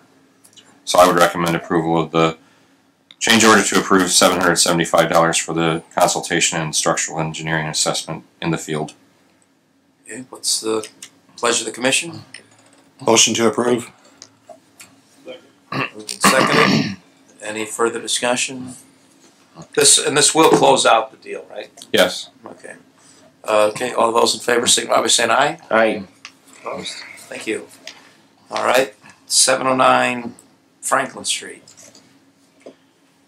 Okay, so just a quick update. Um, just wanted to let the commission members know. I believe today, if not tomorrow, I, I wasn't out there today because of the just the fact I wasn't able to get out there. But I believe that the the masonry, uh, the preservation of the masonry that we're going to be uh, keeping and reintegrating into the project began uh, today or is beginning tomorrow. Um, and that will be stored uh, in the uh, yard at the central Ser- central services department. Um, so the demolition of, of 709 has officially begun. Um, we received the final approval we needed last week from the Board of Works on that, and the full demolition is expected to begin. Um, the actual demolition of the remainder of the building is expected to begin later this month. So just wanted to let you know that that's underway, and so you'll see um, the barricades going up on Franklin Street um, this week for the removal of the masonry, and then um, then there'll be a pause in the activity, and then um, the fencing, the actual site fencing that will surround the building for demolition, will be installed later this month, and uh, it's anticipated that that will be completed by early June. And the number of lanes blocked or? Just parking spaces, um, so much the same as when we did the demolition of 701 to 705 Franklin. Um, all we did was uh, blocked the uh, parking spaces from 7th Street south to the east-west alley uh, adjacent to Artspace. Um, so the two drive lanes themselves weren't affected and won't be affected um, unless there's something unforeseen that happens. But the approval that we received was for the closure of the parking spaces only on the west side of the street, and the fencing will go up along, basically along the, the fencing will go up along the edge of the lane, um, like it did for the last demolition, And completion by early June. Early June. All right. Uh, any other questions, comments on? And that also includes the restoration of the site adjacent um, to regrade the site so that it, we don't have the ponding and, and drainage issues that we uh, that we had over the uh, winter months. That's all the same contractor. Yep. All right. Uh, while we're on this related thing, Civic Plaza project update. Just the only thing to report is that we had a series of meetings with our consultants uh, from uh, Destination Rapid City uh, last week. We had, I think it was nine or ten meetings with different stakeholder groups and and, and um, individuals, and we believe that those those requests or that those meetings went very well. We received a lot of good input, and so what we're going to be doing is going back and kind of fine tuning the uh, financial information about the management and operations um, pro forma, if you will, uh, associated with the project, and the, um, the the preliminary design for the project. And our goal would be to I believe in, uh, in at our at our uh, June at our June redevelopment commission meeting, um, or somewhere around our June commission meeting, uh, to have uh, most likely a, a joint presentation to the redevelopment commission and council, um, and that would ultimately be our goal to um, seek the approvals necessary uh, for the bonding on the project ultimately, most likely from the redevelopment commission in late June, and then the council in July. So just to give you kind of heads up of the schedule, we anticipate hopefully uh, beginning that approval process in late June. So any questions you have, I'm happy to answer, but that's kind of where we're at with the project at this Right, point. so we're, we're finalizing the capital costs and the operating costs and to review that with the city council and others. And, uh, and redevelopment And commission. redevelopment commission, of course, right. Okay. Questions, comments on the plaza? All right, Washington Park, more the parking lot, I guess. Jay? Good evening. I promise to make this very short.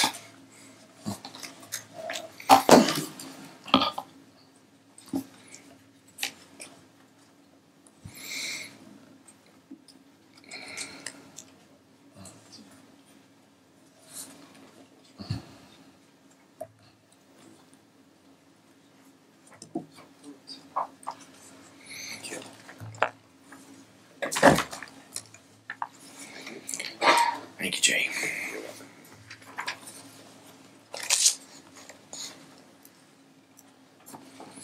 Okay, as I typically present at these meetings, it's a written progress report of where we're at with the west parking lot and the Washington Park project. Wash, the west parking lot, if anybody's been out there, has been paved, it's been striped. Someone mentioned a seven inch rain. We've had a lot of rain in the last three weeks, not a drop of rain left the parking lot, so it's all absorbed by a soil gar- soil garden and the exfiltration system underneath the the parking lot, so it's working very well. On Friday at two o'clock, this Friday, we're heck gonna have a walkthrough. And if anybody's interested in walking through, I'll be out there, we're gonna be checking out, we'll be developing a punch list, we'll be putting together, writing our uh, certificate of substantial completion, and from all things that I can see, it looks pretty good, there's a couple things I want fixed, but other than that, you're invited at two o'clock this Friday. It's not necessarily a ribbon cutting Friday, this is more of a walkthrough, right? This is a walkthrough prior to the ribbon cutting, yes, if you want a ribbon cutting. But we'll definitely have one after we're convinced that the project is sub- is substantially Okay, just complete. Yes. On the Washington Park project, we're moving along with the final completion of the hundred percent plans and specifications. I anticipate that I will have on my desk a set of one hundred percent plans and specifications for my final review. There probably will be some changes in markups like there always is. The plan is to have the final set completed one week from this Friday. So at that time, I'll have a set of 100% plans and specs. I will submit them to our committee. I'll probably, Craig, I'll probably schedule a meeting or may, I just might drop them off to your office. But anyway, I'll have the set of final plans and specifications for the city to do with what they would like to do. So we are very, very close to completing it, wrapping up some electrical issues and some architectural issues. It's going to look, well, I mean, eventually it will look beautiful, but that's where, I thought I got an invitation for the committee meeting, but I'm not sure. I don't think so. I sent you Oh no, it was for the it was for the walkthrough. for the walkthrough this Friday, yes. That's all I have to report. If anybody has any questions, I'll be more than happy to answer them. It looks wonderful, just for my two cents, it's great work, I think it'd be a great addition to the park. So I did notice on your second page, you had two items at the top. Lighting height identification in the west parking lot, as well as a large LED notification sign. Anything to report on that, or is that for future discussion, or? So I and Jan K. Yes, um, area northwest of the new pavilion. And that's what I- I know Oh, it's- yes, yes, I know what we're talking. The long-term concern was. This was a long-term concern, yes. the visual, you know, what the skyscape looks like. Yes. View shed, right. I, I put it on there because at one time we were discussing that lighting and I just left it on the agenda because it is something I believe that we do need to address sometime in the future. That's all. We have set the standard for the lighting with the west parking lot as there will also be a standard set for the main park campus whenever that gets completed. So I would, s- just as a suggestion, use the same More to type come on of. that, right? Yes, sir. I'm hoping we're considering, I, I, it's always expense value proposition, you know, an unobstructed view from the pavilion mm-hmm. to the lighthouse and to Chicago, so. Now, there is, um, yes, sir, there is one thing on the back I failed to mention. The landscape architecture provide a, a quotation for the landscaping for the two-year maintenance and warranty. I attached it to the back. He gave us both a one-year quote and a two-year quote. It's four-year review. I don't expect any decision to be made tonight, but we can Which we did certainly- discuss getting that. Um, Yes. And I think we were leaning towards the two year because of the nature of the plantings that we're having installed, um, being a rain garden, and it typically takes more than a year to establish a rain garden. Yes. And so I think it was our recommendation that we consider the two year maintenance. Um, we didn't include this in the original bid because we didn't include landscaping in the original bid. And we said we were going to come back with a separate quotation for the maintenance that we normally would build into the overall project, but we didn't in this case because of that. Yes. Um, we don't need to take action on this today. Well, landscaping probably needs to start. So soon. lan- Yeah, I mean, It's being installed. It's It's- just a matter Yeah. of there, until substantial completion is finalized, the certificate is issued, it's up to the contractor to maintain the plants. So there's going to be some punch list items that they're going to need to take care of. So what I would suggest is if you need to review it, review it, and then maybe at the next special meeting, we can accept it then, or if you wanted to accept it tonight, we could accept it tonight. I think the concern was we wanted to have this as part of the overall package rather than as a one-off for Yes, maintenance is where we were headed. yes, So how they can handle that or not, right? yes, that's correct. Yeah. So, It is part of the overall project. It's let's be clear, it's all part of the overall project. It's just because we took landscaping out. Right. That would have normally been in the original bid, right, um, the, you know, the master bid, but in this case it wasn't because that was a separate item that we handled.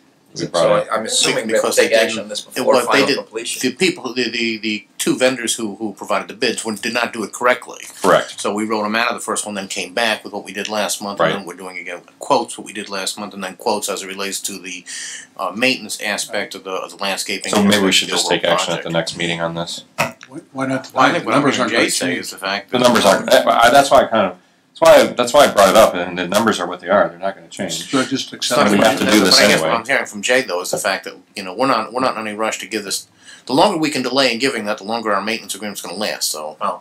Yeah, and, well, that- that is and- and- and the maintenance agreement will start when we approve the certificate of substantial completion, which means that the punch list that's attached to the certificate of substantial completion is completed. So what I could do is maybe we could tentatively approve it now, and in two weeks I could write the change order. Maybe at your next special meeting, I could have the change Yeah. order ready, and then we can go from there. Yeah, that's why I was Good, gonna- that work?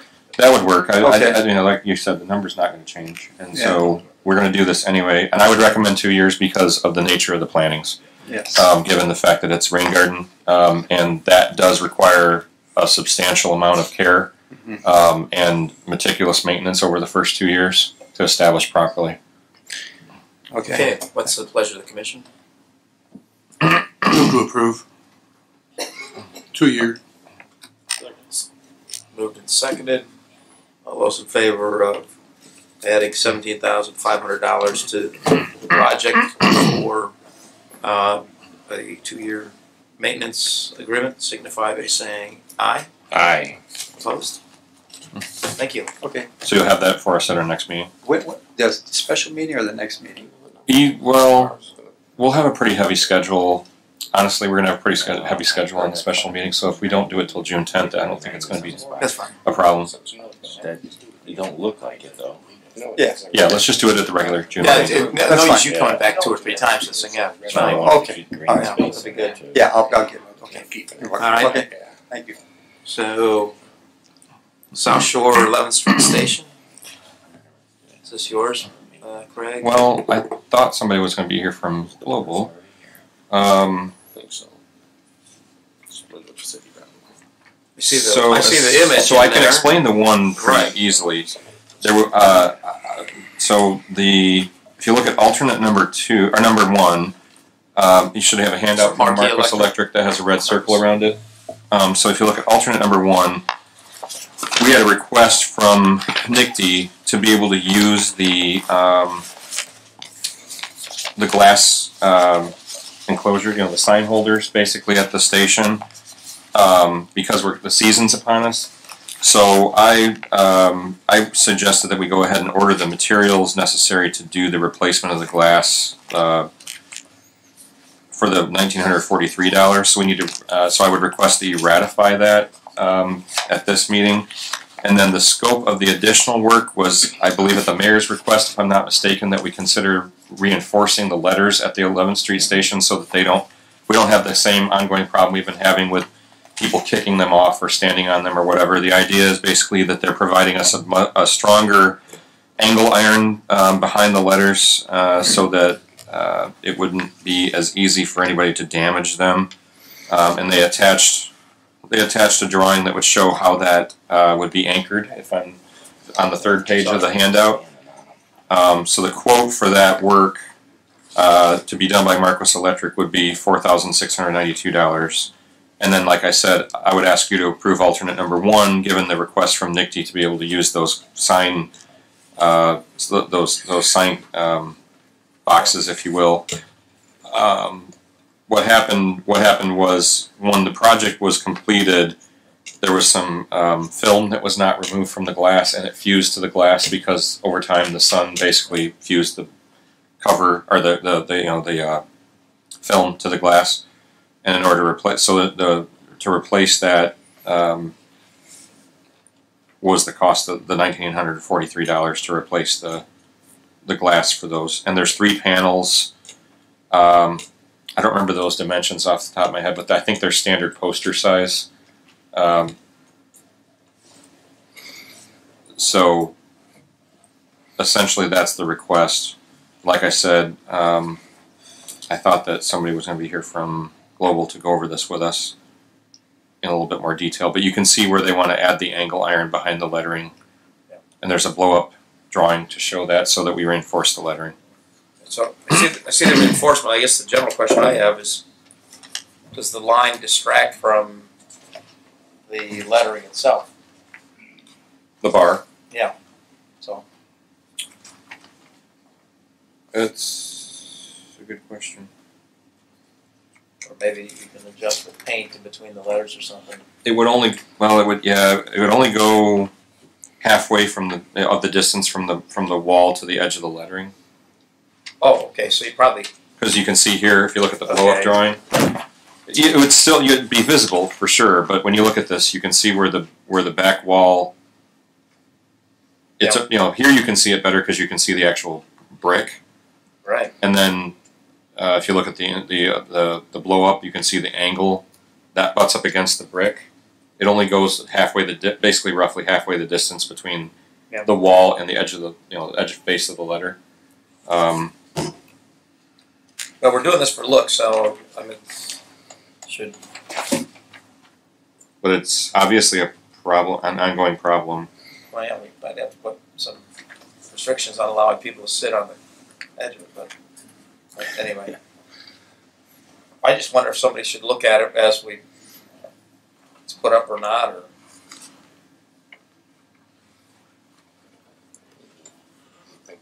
Um, I guess one question is it conti- one thing that's not clear to me is it if it's I guess it is I it continuous. look continuous It does. to It is. me, Yeah, it does so look I just- continuous. It- I mean, I, I get it as long as it's not a distraction, so I don't know if you have to. As long as somebody's paying attention to that detail, it's okay with me, or, Yeah. or one or two of us could take a look at it or something, or whatever. Do think maybe we should just put this off for June and have? I honestly make haven't had- Someone is here to speak on this? Yeah, I was hoping that they'd be here to speak on it, and I don't know why they're not. they received a copy of the agenda, so. Perhaps we just hold off on this one. Do that, or I mean, how soon? With, with the Mayor's special, your well, the request, special soon do we meeting, we want can this handle it fixed? at the special So- meeting. Well, it's it's been in dismay for quite some time already. That's the We're point. not I gonna mean, ask it's them to be at the months. special meeting yeah. Yeah. to Okay. address it. Okay. That's a good Um, idea. I mean, that's my basic question on is, is it gonna look better when it's done or worse? Well, it's not gonna, I mean, it's not gonna look, Right? Yeah, that's what's happening. They're sitting That's on what's there, then the kids are standing on them, and then they're giving way. The, the I string. mean, it's definitely not gonna look as aesthetic. base and just moved it in tighter and took a lot of the width off the top. You still see the, the face of it is wide. And butted up, you wouldn't have be able to stand on it. Yeah, be a lot tighter.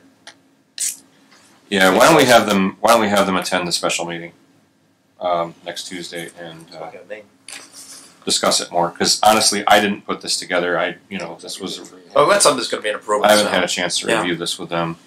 Um, Yeah, unless somebody feels differently, we'll put it on the special agenda. All right. It's uh, necess- well, I guess to answer your question, Pat, I think the, the goal is, is they're backlit letters, and if you press the letters Oh. up against the wall, they're no longer backlit. Oh, I, So that's why they're, that's why they float like they do. I. So I understand what they're trying to achieve. So they're trying to get get it so that the letters still float. I wonder if,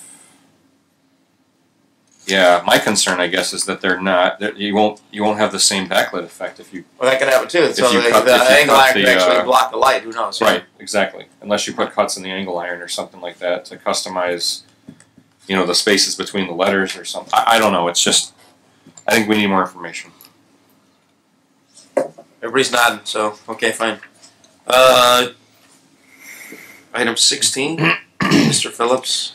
Uh, this is just to, so that for the record um, and for the minutes, uh, we acknowledge receipt of the annual TIF management report that the commissioner and I submitted uh, prior to the deadline of April 15th. You have a copy of the summary of the report that's submitted Right. to the state. So we just need to note for the record that um, it's been received by the commission and it's in the minutes. So in, in essence, it is that we have defined projects to use the uh, precious TIF dollars that come into the redevelopment commission to be used for the betterment of the city. That's This actually has to do with reporting what we did last year. no last year. Okay. So what this is is by TIF, um, we give uh, information about the type of TIF, personnel that, that work for or associated with the board uh, for the commission, um, the total revenues and expenditures um, for each TIF, and then that's broken down by type um, as per the requirements of statute. And then um, the fund balances uh, at the end of the year, and I believe debt payments that were made for each of the TIFs, uh, for each of the bonds within the TIFs. So that's essentially what this is. It's a Okay, so reporting that's- of that's different. 2018. Okay, 2018, and we will have to make a 2019 communication, correct? next year. And then Oh, it's always after the fact. I thought we it's always after the fact. Um, the only thing different is this upcoming June 10th report to the overlapping taxing units. That has to do That's with, what I was talking that about. has to do with our plan how to That's how to was spend the funds. Okay, so that's this is reporting to the state. okay. Report. Say what we did. June 10th will be reporting where we're going future. Correct. And then uh, City Council also received the same report. Um, I believe at their last minute as correspondence, La- or their last meeting as correspondence. All right, so we need to acknowledge the receipt. Is that take a vote? No, we're good. And then Okay. just as long as it's So part it's of in the minutes. that's all that matters. Thank you. Any questions on the TIF management report? All good? Okay. Report by legal counsel. Oh, excuse me. Forgot an Addendum. agenda item, and it kind of does refer to probably a report by legal. Our addendum board open bids for offer to purchase property located at six thousand South Cleveland Avenue. As you recall, two months ago, uh, we just, we, we wanted to move forward to see if we could, um, transfer this property that we own, to see if there was any interest in anybody who wanted to purchase it. There's a process that you have to go through in terms of, uh, putting out a public notice to that effect, and then opening a, uh, a sealed bid, or bids, uh, for the purchase of that property. The, um, we put down the minimum bid on that would be the mid, midpoint between the, or the average of the two appraisals we received, which would be two hundred ninety-eight thousand five hundred dollars. We received one bid on May tenth, twenty nineteen at nine twenty-four AM. And just to clarify for everyone, six thousand South Cleveland, about where is that? Across the street from the fire department. Thank Not you. the fire department. Okay. Uh, not the fire department. So this is Um, on the There was west a- side of the street. West There was side apparently some confusion because Beacon reports the fire department's address as six thousand, That's also right. even though it's actually five thousand South Cleveland. Uh, this is the land across the street to the west. And this also has, in addition to usable property, there's also wetlands, and we've also gone through with having a wetland delineation report submitted as well, so. Thank you. The only bid received was from the Fraternal Order of Police, um, submitting on May 9th of twenty nineteen. Their offer was for fifty thousand dollars. Now, having said that, um, by law, you know, we have to start off with a, with a minimum asking price of two hundred ninety-eight thousand five hundred dollars based on the appraisals. The fact that we have an offer here for fifty thousand dollars, um, we cannot accept within this framework.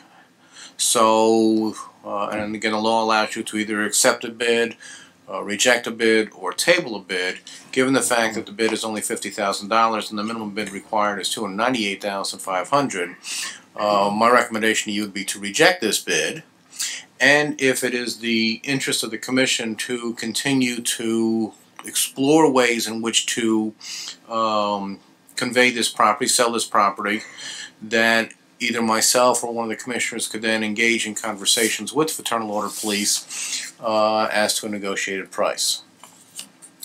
Um, so that's kind of what you have with this tonight. That's as far as we can go with so it. my suggestion is take it to two things. So your recommendation is a rejection of the bid. I think you want to reject the fifty. You just don't have the authority to accept the fifty thousand bid. Alright, so pleasure of the commission on the rejection of the bid. I would move that we reject fifty thousand dollar bid uh, because it's unacceptable and It just, it just doesn't comply with state law. exactly. Again, that okay. well, second, I guess for that. Motion and seconded. Everybody second? Oh, thank you. It doesn't mean though Alright. that we cannot engage in conversations with them for less than the appraised value. It just means at this ju- this juncture of the procedure, we just can't. Should we have that as a separate motion though? The, yeah, okay. Yes. Okay, we got motion second. Any further discussion? All in favor, signify by saying aye. Aye. Opposed? Alright, to your next point, Alan. Second point. I think we already had had somebody working on this, if I recall, or did that I've been change? talking with them about this, and I, and I laid out for them the procedure. Um, so I'm not surprised that they submitted something. I am su- somewhat surprised at the relatively low dollar amount. Um, but there's certainly you have you like I say at this point we can take nothing for take no further action, do nothing, uh, or we can engage them in additional conversation and see if we want to try to sell the property. I would move that we uh, engage them in additional uh, negotiation, conversation in regards to their acquisition, potential acquisition of this property. I don't think we need to make a motion on that as much as you're basically giving me authorization to follow up with them, and I can follow up and report back to the Make sure everybody, colleagues agree, that's all. Yes. And Okay. is there a commission that wants to work with them on this specifically? Or take that up afterwards? I don't have a problem, we can take it afterwards. Okay, so, I'll keep you posted. thanks. Tentatively, Thank you. Pat, That's right. if that changes, we'll let you know, so.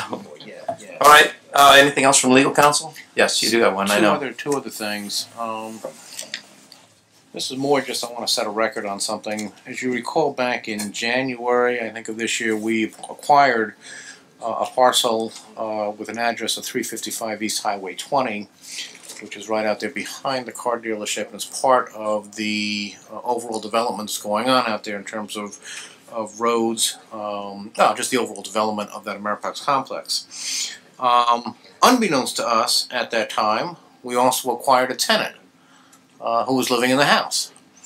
Um,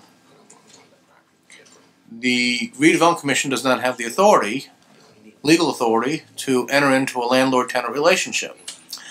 Um, we can't accept rent. It, it, it's just it's it's it's it's kind of a unique situation that we knew nothing about. Um, so, to protect ourselves, first of all, we have uh, I did inquire of um, with, with our insurance carrier to ensure the fact that that person, if he gets injured out there, would be insured under the general liability policy of the, of the city. Uh, and then secondly, what I have done is given him notice, uh, basically following the rules of what you need to do to evict somebody uh, and what the process is. Even though this seems really elementary, uh, he still has a right to um, due process, particularly given the fact that he did have an unofficial or a month-to-month tenancy with the uh, person who we bought the property from. So what that process basically means is officially giving him notice by certified mail that he needs to vacate, which I did back on April 18th. Um, if he's still there, then we will give him formal notice to vacate or notice to quit through the Sheriff's Department, May 18th, May 19th, something like that. Uh, he has 10 days in which to respond to that. If he's not vacated by then, then I'll file a, formal uh, eviction complaint against him. And um, but again, the important part on this is the fact of, of we need to, we can't have this kind of relationship, and we need to make sure we're protected, which is why I wanted to establish the record that we are doing once we became aware of the situation, we're doing everything we we have to do so as to get out of this situation. So that's just to update you on that. Once um, he has vacated, whether it's through in response to the letter I wrote or the sheriff's service, uh, I will be sure to let you all know about that. And then you did mention that the city has no liability for him. City does have liability on that property. We, yes. we do, and we performed an inspection of the property. Yes. Uh, and we ensured that it has working um, smoke detectors and carbon monoxide detectors, and the equipment in the home is generally working properly. Uh, and we did verify, as, as Attorney Cyranick said, that, it, that he's covered by our, uh, our general liability policy for So, the so we do have some exposure here for short term. Well, we, you know, you always do, I Right, guess, but it- but we're we've done taking- everything we can I- to I- We're taking I get it, I acceptable just steps, we're that. taking acceptable steps to get ourselves out of this Right. situation. and providing a defense for the situation we know about. So, Thank you. and then the final thing was, I'd to give you a report on the Trail Creek litigation. Um, we had a mediation session with three of the respondents, or three of the defendants, uh, that occurred on April twenty-third. We reached tentative approval to two of the respondents. Um, one would be with, um, Weber Sign for sixty thousand dollars.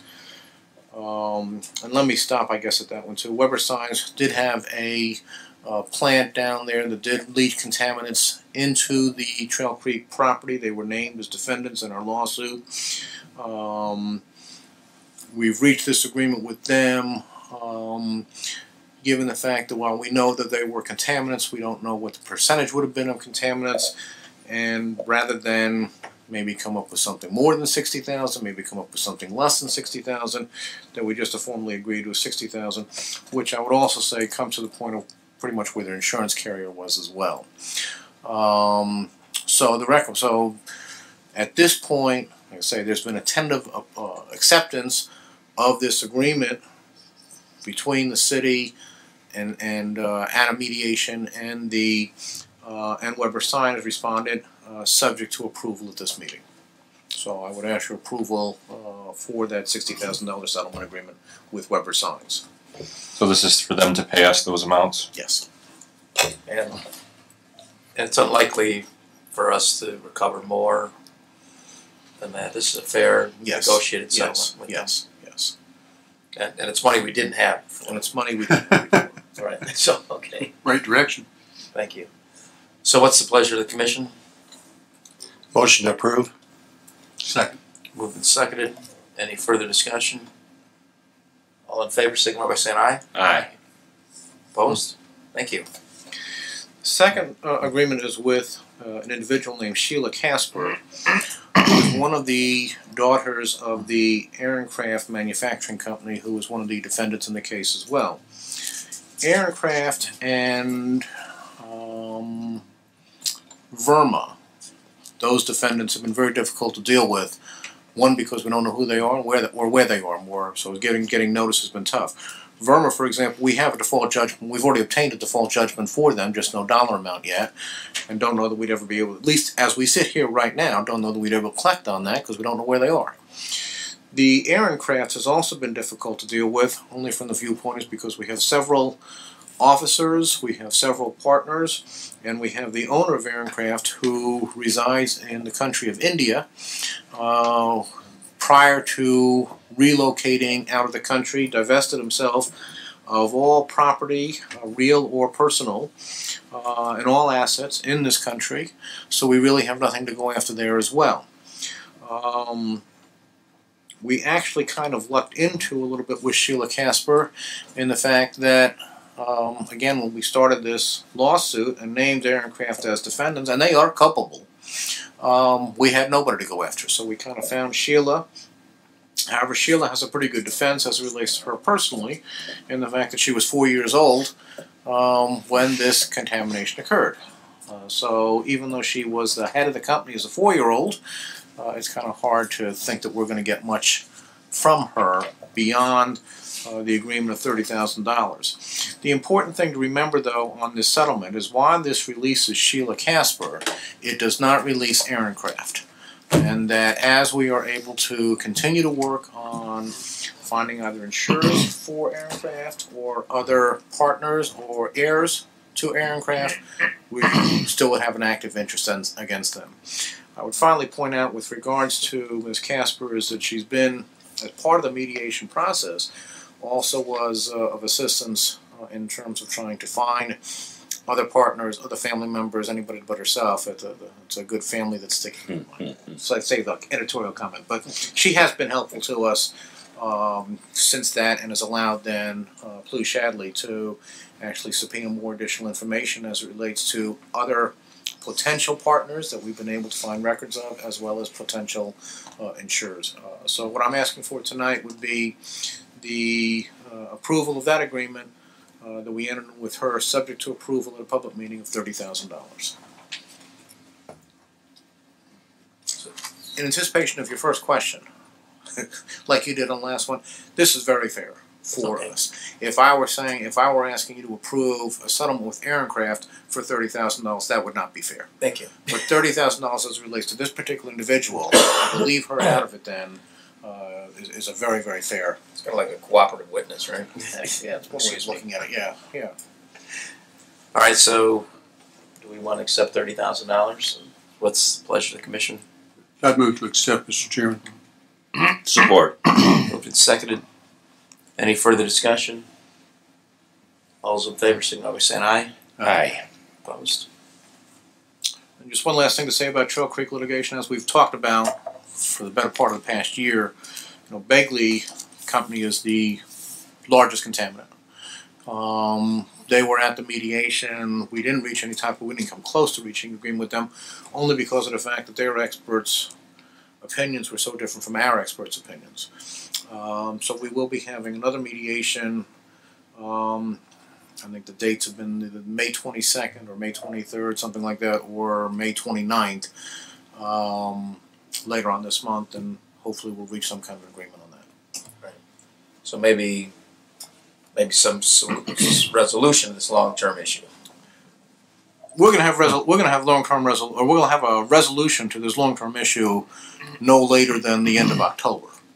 Um, maybe we can have a resolution before then, with a known resolution. Yes. So a, this is probably, uh, it's an accounting question for the, for Craig or for Alan. So these funds that are coming into us, they're, they're not TIF dollars. And I had some discussion on some other issues with, um, some folks that are actively involved in other redevelopment commissions. And there may be some value in setting these funds into a different bucket, which may have more flexibility for use rather than our TIF funds. In the past, um, right, in the past, our properties that, uh, funds that we received through property sales or through other settlements, it's my understanding those went into the operating account, and the operating account doesn't have the same strings attached to it as far as the use of Right. TIF dollars, because these are not TIF dollars. So we can explore one of two things. We can either explore just having those funds um, uh, put into the operating account or set aside a special fund that we can use, some sort of a flex, other flexible fund. But we would need to discuss that with the controller's office. What about in regards to their, their offsetting costs of remediation and assessment work that's being done, though, that you're using TIF dollars for? If, well, the, okay, so in the case of, okay, that's a good point, actually. I, I, I just asked the So- question because I've heard that we may get some flexibility. Sales are clear, that, tho- those can go into the operating fund. Um, so if we end up settling on a price, you know, of some sort for six thousand South Cleveland, we would definitely put that back into the operating fund. Um, I would, yeah, I would strongly request that if we settle, if we're able to settle with, um, Begley, and in, I guess in this case with regard to Aaron Craft and Weber, because the, the funds that were expended to pursue those claims against those companies came out of North TIF funds, that hopefully those would be able to go back into North TIF funds to reimburse us. I mean, we're out, we're out to the tune of five hundred thousand dollars in the case of Begley at this point, you know, for vapor intrusion remediation and all the related costs. And that has put a, that's a big hit on the, on the TIF, Sure. on the North TIF funds, so I would hope that we will be able to reimburse the North TIF funds accordingly. I, I just think it's worth looking at the accounting and to extract the most uh, flexibility we can. So, all right. All right. Anything else? Questions for council? All right. Uh, report by director. Uh, just, I have two items. First one is very brief. Um, just wanted to let the commission members know at the request of Councilman Stimley, uh, I will be providing an update on the annual report, which we submitted to the city council last, uh, last month, and you all received last month as well. Uh, but I'll be doing that, um, at the council meeting on May twenty first. May twenty-first. Um, like I said, just going over kind of an overview of that annual report for the, at the request of Councilman Stimley, who I see is in the audience, so. Um, I'll be presenting that to them at that meeting. Uh, and I guess I guess submitting a request, uh, for an officer's update, a report of other city officers and departments, I guess is the way that that will be done, is most likely at the front end of the meeting, so just a heads up on that. And the second thing is a small request that's come before us uh, from the EDC, and Clarence Hulse is with us this evening. Um, essentially, what this is is a request to help us for us to help pay for uh, a prospectus related to the opportunity zones that were recently established through the, the legislation and uh, that allowed the creation of the zones. We were awarded three census tracts as opportunity zones if I'm not mistaken, and I'll let Clarence explain in more detail what he's what he's requesting from the um, from the commission to kind of move along the ability for us to use the opportunity zone um, designation to our uh, greatest extent. So, Clarence. Good evening, Commissioners. Uh, thank you for taking the time out to listen to me. And uh, um, Opportunity Zone is a uh, creation of the federal government. It was created in the 2000 2017 uh, tax uh, law, and we were fortunate to be able to get uh, three. It was part of the tax law. We found out early 2018, and we were able to discuss with this with uh, state of Indiana to submit. We actually submitted six areas um, but to negotiate um, down to three. And uh, uh, what they are, if you're in, the, in real estate, pretty much it's a like a 10 year 1031 exchange. It allows you to invest money in an area uh, where, and then over 10 years, uh, pay little or no taxes, and allow, allows you to reinvest. The laws have been updated twice so far. The current last set of rules allow you to operate a business now and save your money within the, within those areas. So but it's a tax law, federal tax laws. So I tell people get a CPA and attorney to help you go through all this stuff. I'm giving you kind of the high the highlights. This is this corporate, corporate and personal taxes, Exactly. not real estate taxes. Not real estate taxes, exactly. Um, so what we have done so far is um, my, my staff from the EDC, city staff, uh, mayor's office, an attorney, we got together, put together documents, got the, the zone um, package submitted um, last year uh, by March 30th. Uh, July 2018, we got the designation. Uh, so celebrated it, and then in October of 2018, we had a big um, seminar. We invited uh, business people, investors, uh, brokers to come to Michigan City. Uh, we had about 50 showed up and provided breakfast, talk about what can be done with this zone. Um, earlier this year, in March 2019, uh, City was rated in the 90th percentile for investment across the country, which there's over 4,000 um, zones, and we were in the 90th percentile for investment. So after um, March of this year, we started getting phone calls about what's going on in Michigan City. uh, people from Chicago, New York, Detroit, Atlanta, asking questions. The issue we have right now is we don't have anything to present to them.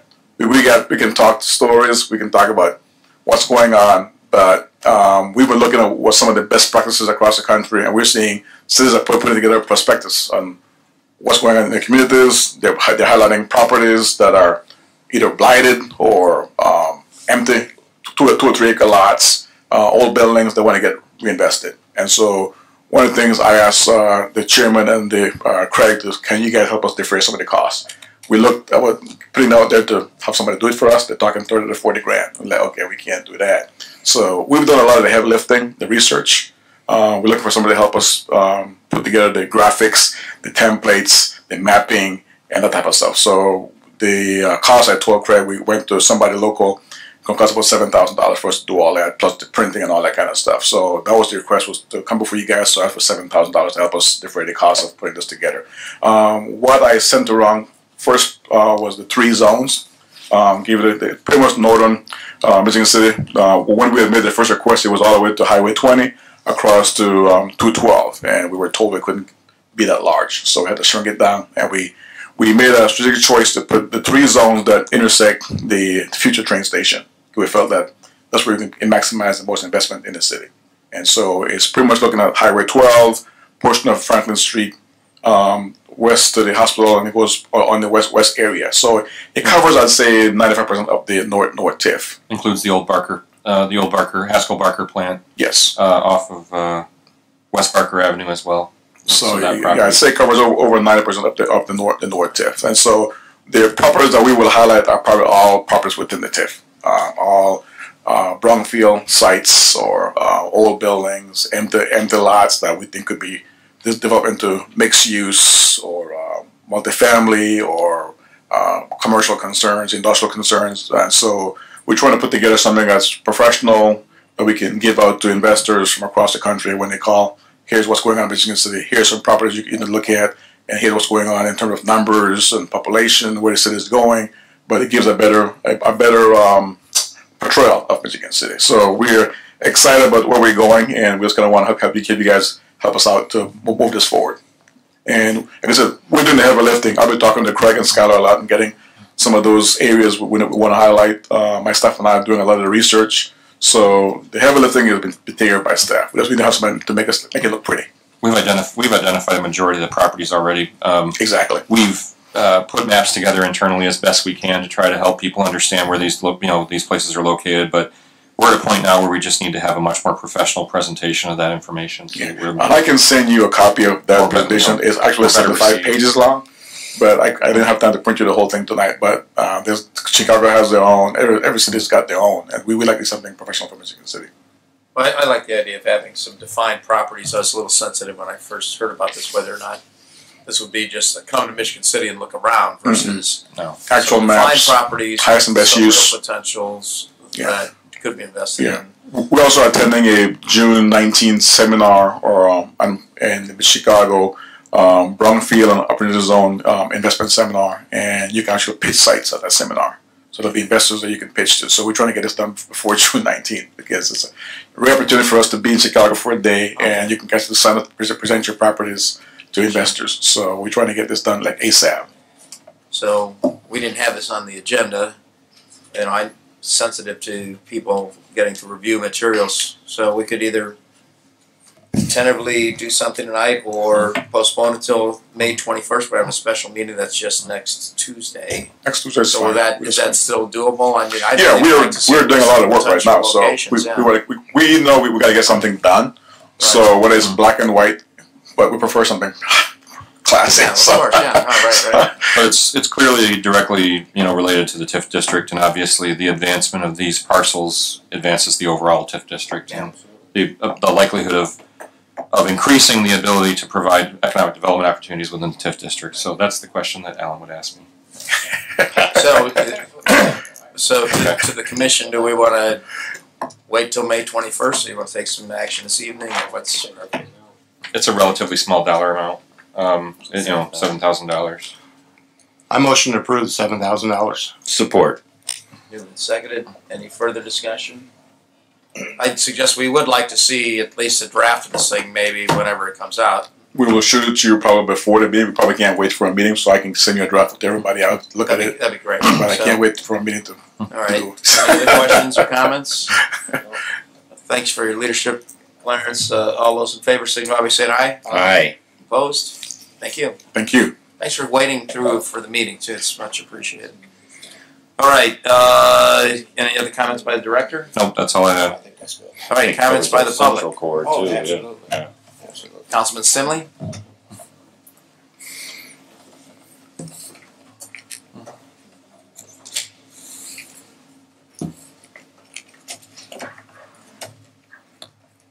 Uh, good, good evening tonight, um, commissioners. I just had a few comments I wanted to uh, propose the redevelopment commission. I know um, earlier this evening we heard about the the railing there over the bridge going to Blue Chip. I heard um, different things such as a possibly a coin theme for the panels, um, such as uh, music notes. Uh, one thing you might want to take into consideration too, with the Washington Park Zoo being right there, possibly doing a zoo images and maybe every fifth or sixth panel putting something like "Visit Washington Park Zoo." It's just a thought. Um, I also want to address the issue of uh, Baker and Tilly bond and cash flow report. I'd like to see a copy sent to each council member if that would be possible. We can do that. Uh, I don't see any. Sure. We can do that. Yes. And uh, one other thing I'd like to dr- address tonight is the riverfront uh, liquor licensing. Um, I remember years ago why it was created. You know, it was created for the Trail Creek corridor there over by Wall McLean, and um, through the years it got expanded once, then it got expanded again. Um, I want to thank uh, thank you for sending me the rules and regulations of the Riverfront District. Uh, when you look at the rules, you know they do have a written commitment with the city when they sign this. When you give out these uh, liquor licenses, uh, they're for upscale nature businesses and restaurants. And it says uh, non-transferable, which I know they're not, but I remember um, with the yacht club, they already had four owners, and also with the old train station, I think they went through three or four owners also. So you know they continue to get them at the same place. I believe uh, when we increase increase these liquor licenses, we're just watering them down for the whole city. Uh, I believe there's no limit on what the redevelopment can dish out with the liquor licensing. Like I said, I'm a 100% for business, but I believe um, sometimes this is not the way to go. Uh, when you look at the rules too, they're supposed to be open 320 days, which is if they're just closed one day a week. That eliminates them with the 52 weeks in a year. So I just tell you to take a look at this. Um, once again, like you said, it's for upscale restaurants. I believe um, other businesses that have the liquor license in town are suffering from this, and just keep that in consideration. Thank you. Thank you. Thank you, John. So, Mr. Cernak, would you address the license? Johnny, just to let you know that uh, we do, first of all, you mentioned that the um, different owners of the uh, yacht club.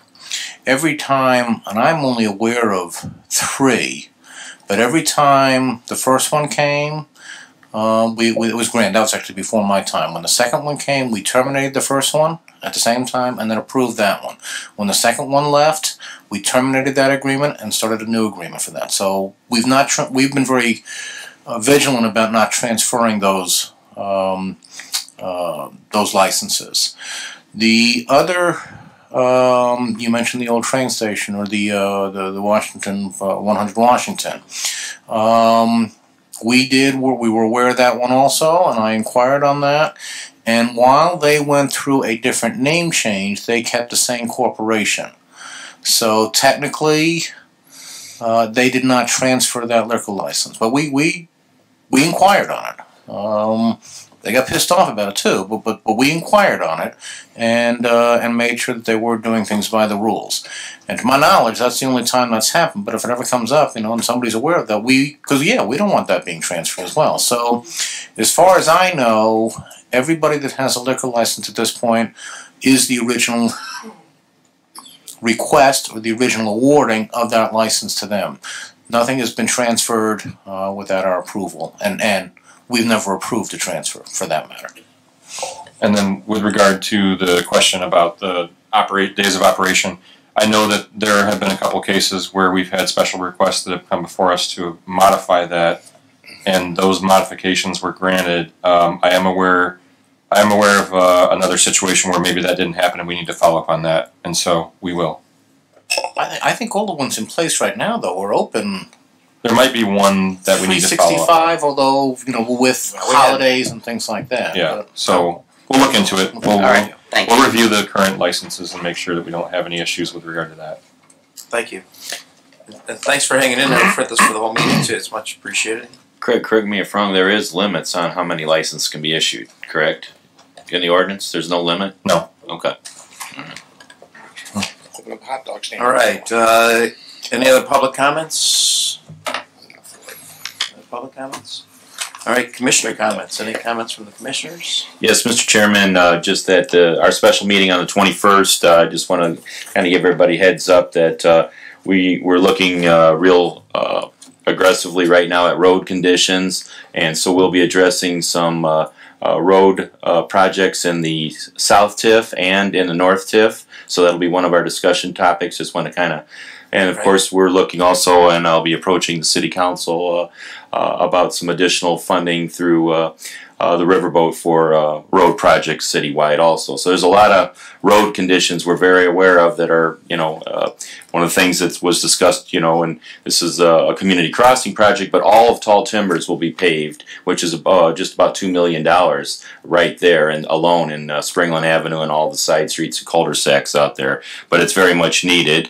Uh, also, Village Road project residual from the South Ohio Street project from TIF dollars of the uh, storm sewer uh, on Village Road, uh, and then separately street paving as much as we possibly can from Ohio Street to 421 on Village Road, which will uh, be another uh, nice uh, over a million dollars into the Southgate neighborhood.